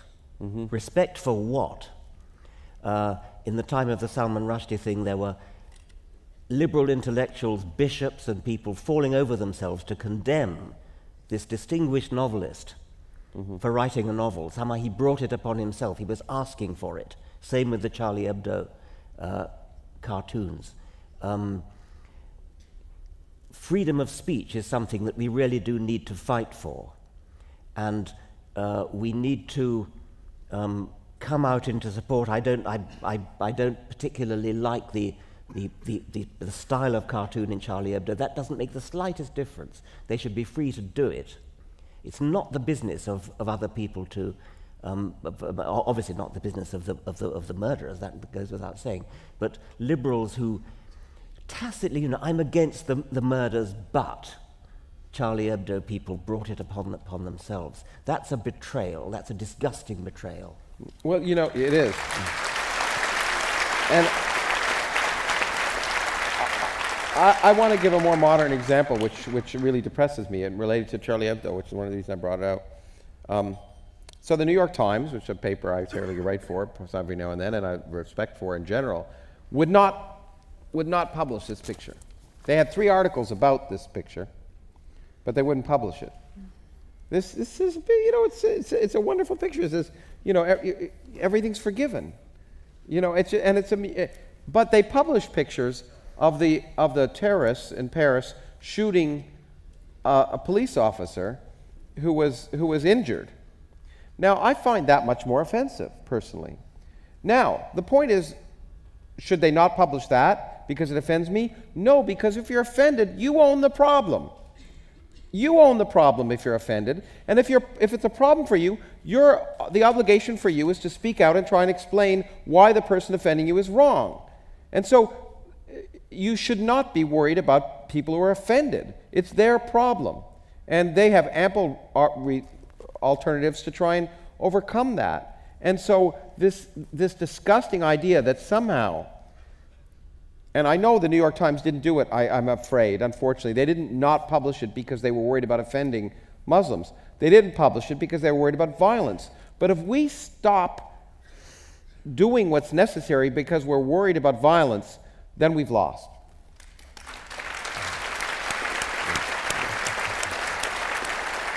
I like the remark of um, Christopher Hitchens said, um, You're offended.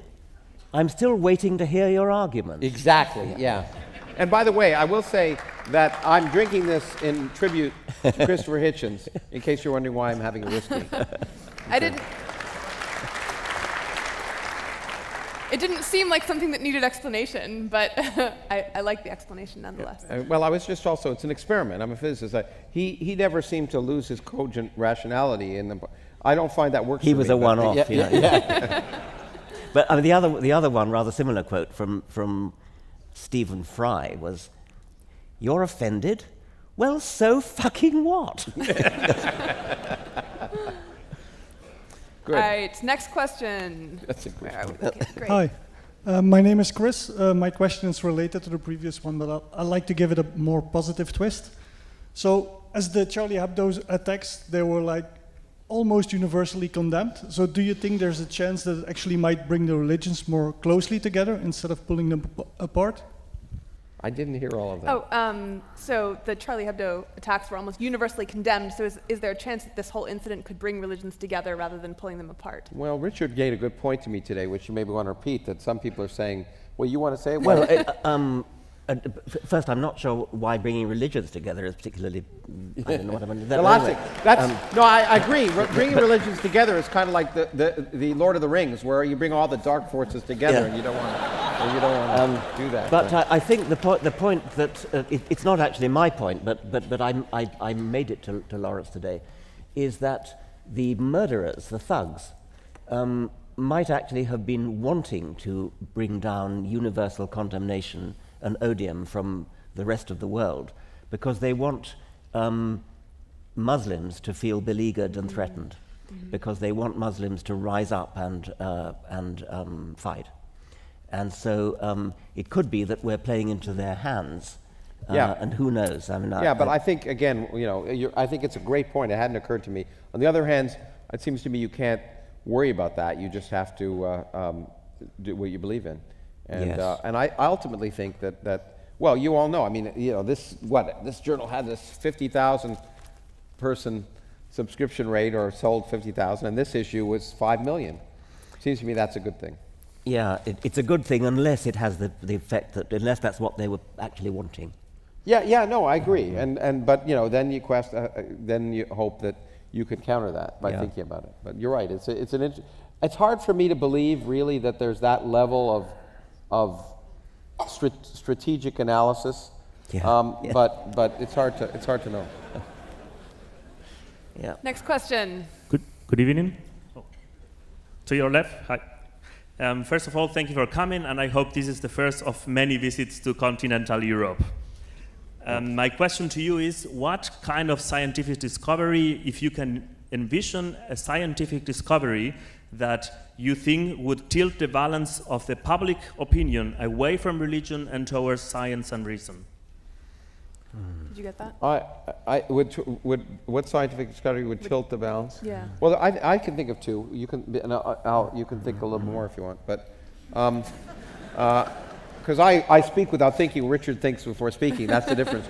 Um, but uh, and both of them relate to the nature of origin of life. I think, first of all, if we can demonstrate the, um, the natural mechanism by which non life turned into life by, uh, uh, in, in, the laboratory, That will be a significant development which will impact on this idea of the sanctity of life. The other one, it would be the discovery of intelligence elsewhere in the universe, uh, which would, I think, if, uh, which is a far more remote possibility. The first possibility, I think, will happen in the lifetime of most of the people in this room.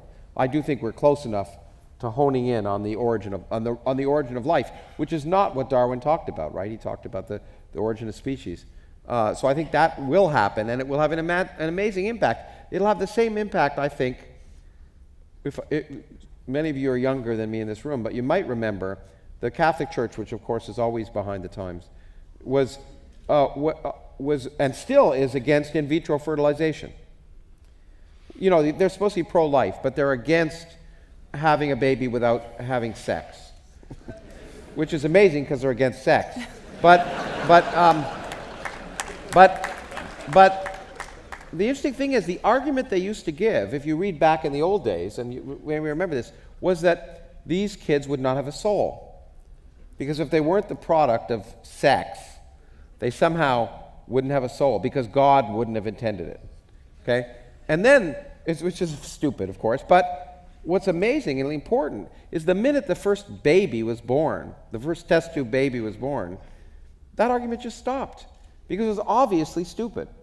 So uh, you never hear that mentioned anymore. The church never, never talks about those kids not having a soul because it would be ridiculous. So I kind of think that kind of evidence that, that, that it's so obvious that if, if we can develop it, that life develops from non life by just natural, clear explanations will go a long way. The, the discovery of alien, intelligent life, I think, would be the other thing because it would just demonstrate that many of our myopic notions are wrong. Yes, the, the, the, origin of life would be a fascinating thing to do. It, it always astonishes me that they pin so much faith in that, actually. Yeah. I mean, they, they, they clearly, having lost on evolution, they've, they're now kind of retreated to the origin of life. Um, but of course, that, it's totally illogical. So it never even occurred to me that that was a. That, but it would be a very interesting thing. Um, and I, I, long for it to happen. I'd, I'd love to know how it, how it started. Um, the, the, the other thing, I suppose, would be so, something in um, uh, artificial intelligence. Uh, if if um, artificial intelligence is not progressing quite as fast as some people thought it would, but mm. there, there will surely come a time when uh, a, com a computer program behaving like a human is so convincing, so convincingly passes the Turing test, it can actually have philosophical arguments, can mm. actually feel fear and love and, mm. and, and, and amusement, laughter, um, appreciate paradoxes, all that sort of thing. And that you actually have a proper conversation like we're having a, a conversation.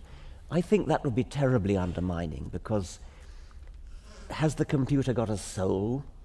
Mm-hmm. Does the soul go to heaven? You know, that, that kind of thing, the, the undermining of the, of the sp- alleged special nature of the human soul. In, in, in a way, it's already been undermined by, by, by Darwin. I mean, at one point, at what point in evolution does the soul yeah. um, ar- arise? But somehow that hasn't hit home. That's good. Um, good. Yeah, I agree. Yeah. That would be really neat. Great answer. We have time for one more question. So whoever's next in line. It's got to be a really good one, though, right? Yeah, no pressure or anything. You're challenging me, but I'll try. Uh, my name is uh, Kurt, and uh, speaking of uh, computer programs, in the, your early books, uh, Dr. Dawkins, you are um, illustrating very nicely how you can illustrate how evolution works with computer programs. you have written some kind of computer simulations that actually illustrate very nicely how this evolution works. Now, my question is why do you not write such a program to illustrate how religion will evolve and perhaps finally die? It would be very nice to do something like that. I'm not quite sure what that would look like. But I mean, it sounds from your question as though you've got some plans of your own or something. um, uh, I'm not quite sure. I mean, I, it, if, if, if you were to, I thought you were going to ask, um, you know, what, what further progress could be made in that sort of direction. And I, and I would say then that my, my programs were limited to the very um, uh, constrained ecology of a two dimensional computer screen. And uh, more modern programs actually have creatures moving around in a simulated three dimensional space with a real um, simulated physics, where they um, don't bump into objects and they avoid each other and they um, uh, have, have a kind of reality in, in which they live and move and have their, their being. Now, religion, um, I'm not sure what it would be, what it would mean to write a computer simulation yeah. of. I think you'd be religion. very. I mean, as a scientist, I'd be extremely skeptical of someone who claimed to do that because religion is a very complex human notion. I mean, life you can build a simple. You can only answer questions that you can answer, and we don't even understand the nature of consciousness. And people are trying to understand the, the evolutionary biology of why religions evolve, but all of this is knowledge that's just beginning, and it's such a complex question that you, I don't think you could, if anyone claimed to have a computer program that would talk about the evolution of religion, I would, I would be very skeptical of it at this point because we don't even understand, um, in the sense, what religion is or why, or why it exists at, at, in a fundamental evolutionary perspective. It's a very high level concept, and I think we're, we're way down here, right? In, in one sense, I think we already have it in, the, in um, computer viruses, which are, which are um, um, well, which are, yeah. which are, which are pr programs that, that, that spread uh, through the um, yeah. silica sphere uh, by the mere fact that, they, that, that, that, the code says spread me in one way or another, pass me on, mm. copy me, uh, etc. And they could evolve. Um, and I think that's probably what religions are. Uh, I think they are a sort of computer virus which spreads because they contain within their own code the instructions for spreading. Um, believe in me and pass it on to your children. I mean, that's a powerful piece of computer virus code. Um, believe in me and go out and, and, and spread the word uh, in, uh, as, a, as a missionary. Um, uh, believe in me and you will have everlasting life. Um, these are all uh, pieces of computer code that, when passed from brain to brain, have the capacity to make sure they're passed on again. Um, and over the centuries, they've become pretty good at it, not surprisingly, because they've had a lot of time to evolve and perfect the techniques. Um, if you leave this religion, uh, you will be uh, executed as an apostate, mm-hmm. uh, a fairly powerful piece of computer virus code, uh, likely to get itself, if not passed on, likely to, be, to stick around once it has infected a brain. Difficult to cure uh, this particular disease when it has a weapon like that at its, at, the, at its disposal. So that's just kind of thinking aloud, but, but um, it, no, it's, it's, neat thinking. I think uh, religion as a virus is a great, a great idea. But before, before, can I, I just, this is peripheral, but uh, before sure. we end, and you probably have some profound remarks then, but um, uh, I just want to thank the people who put this together. I've, I've done two things with this group of young people, and it's inspiring, and the fact that they could put 2,000 people together yeah, yeah, and do yeah. it so well. So I really want to thank them. Uh,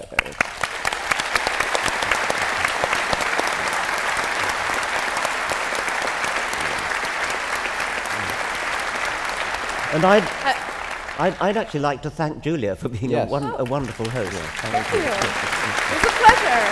I enjoyed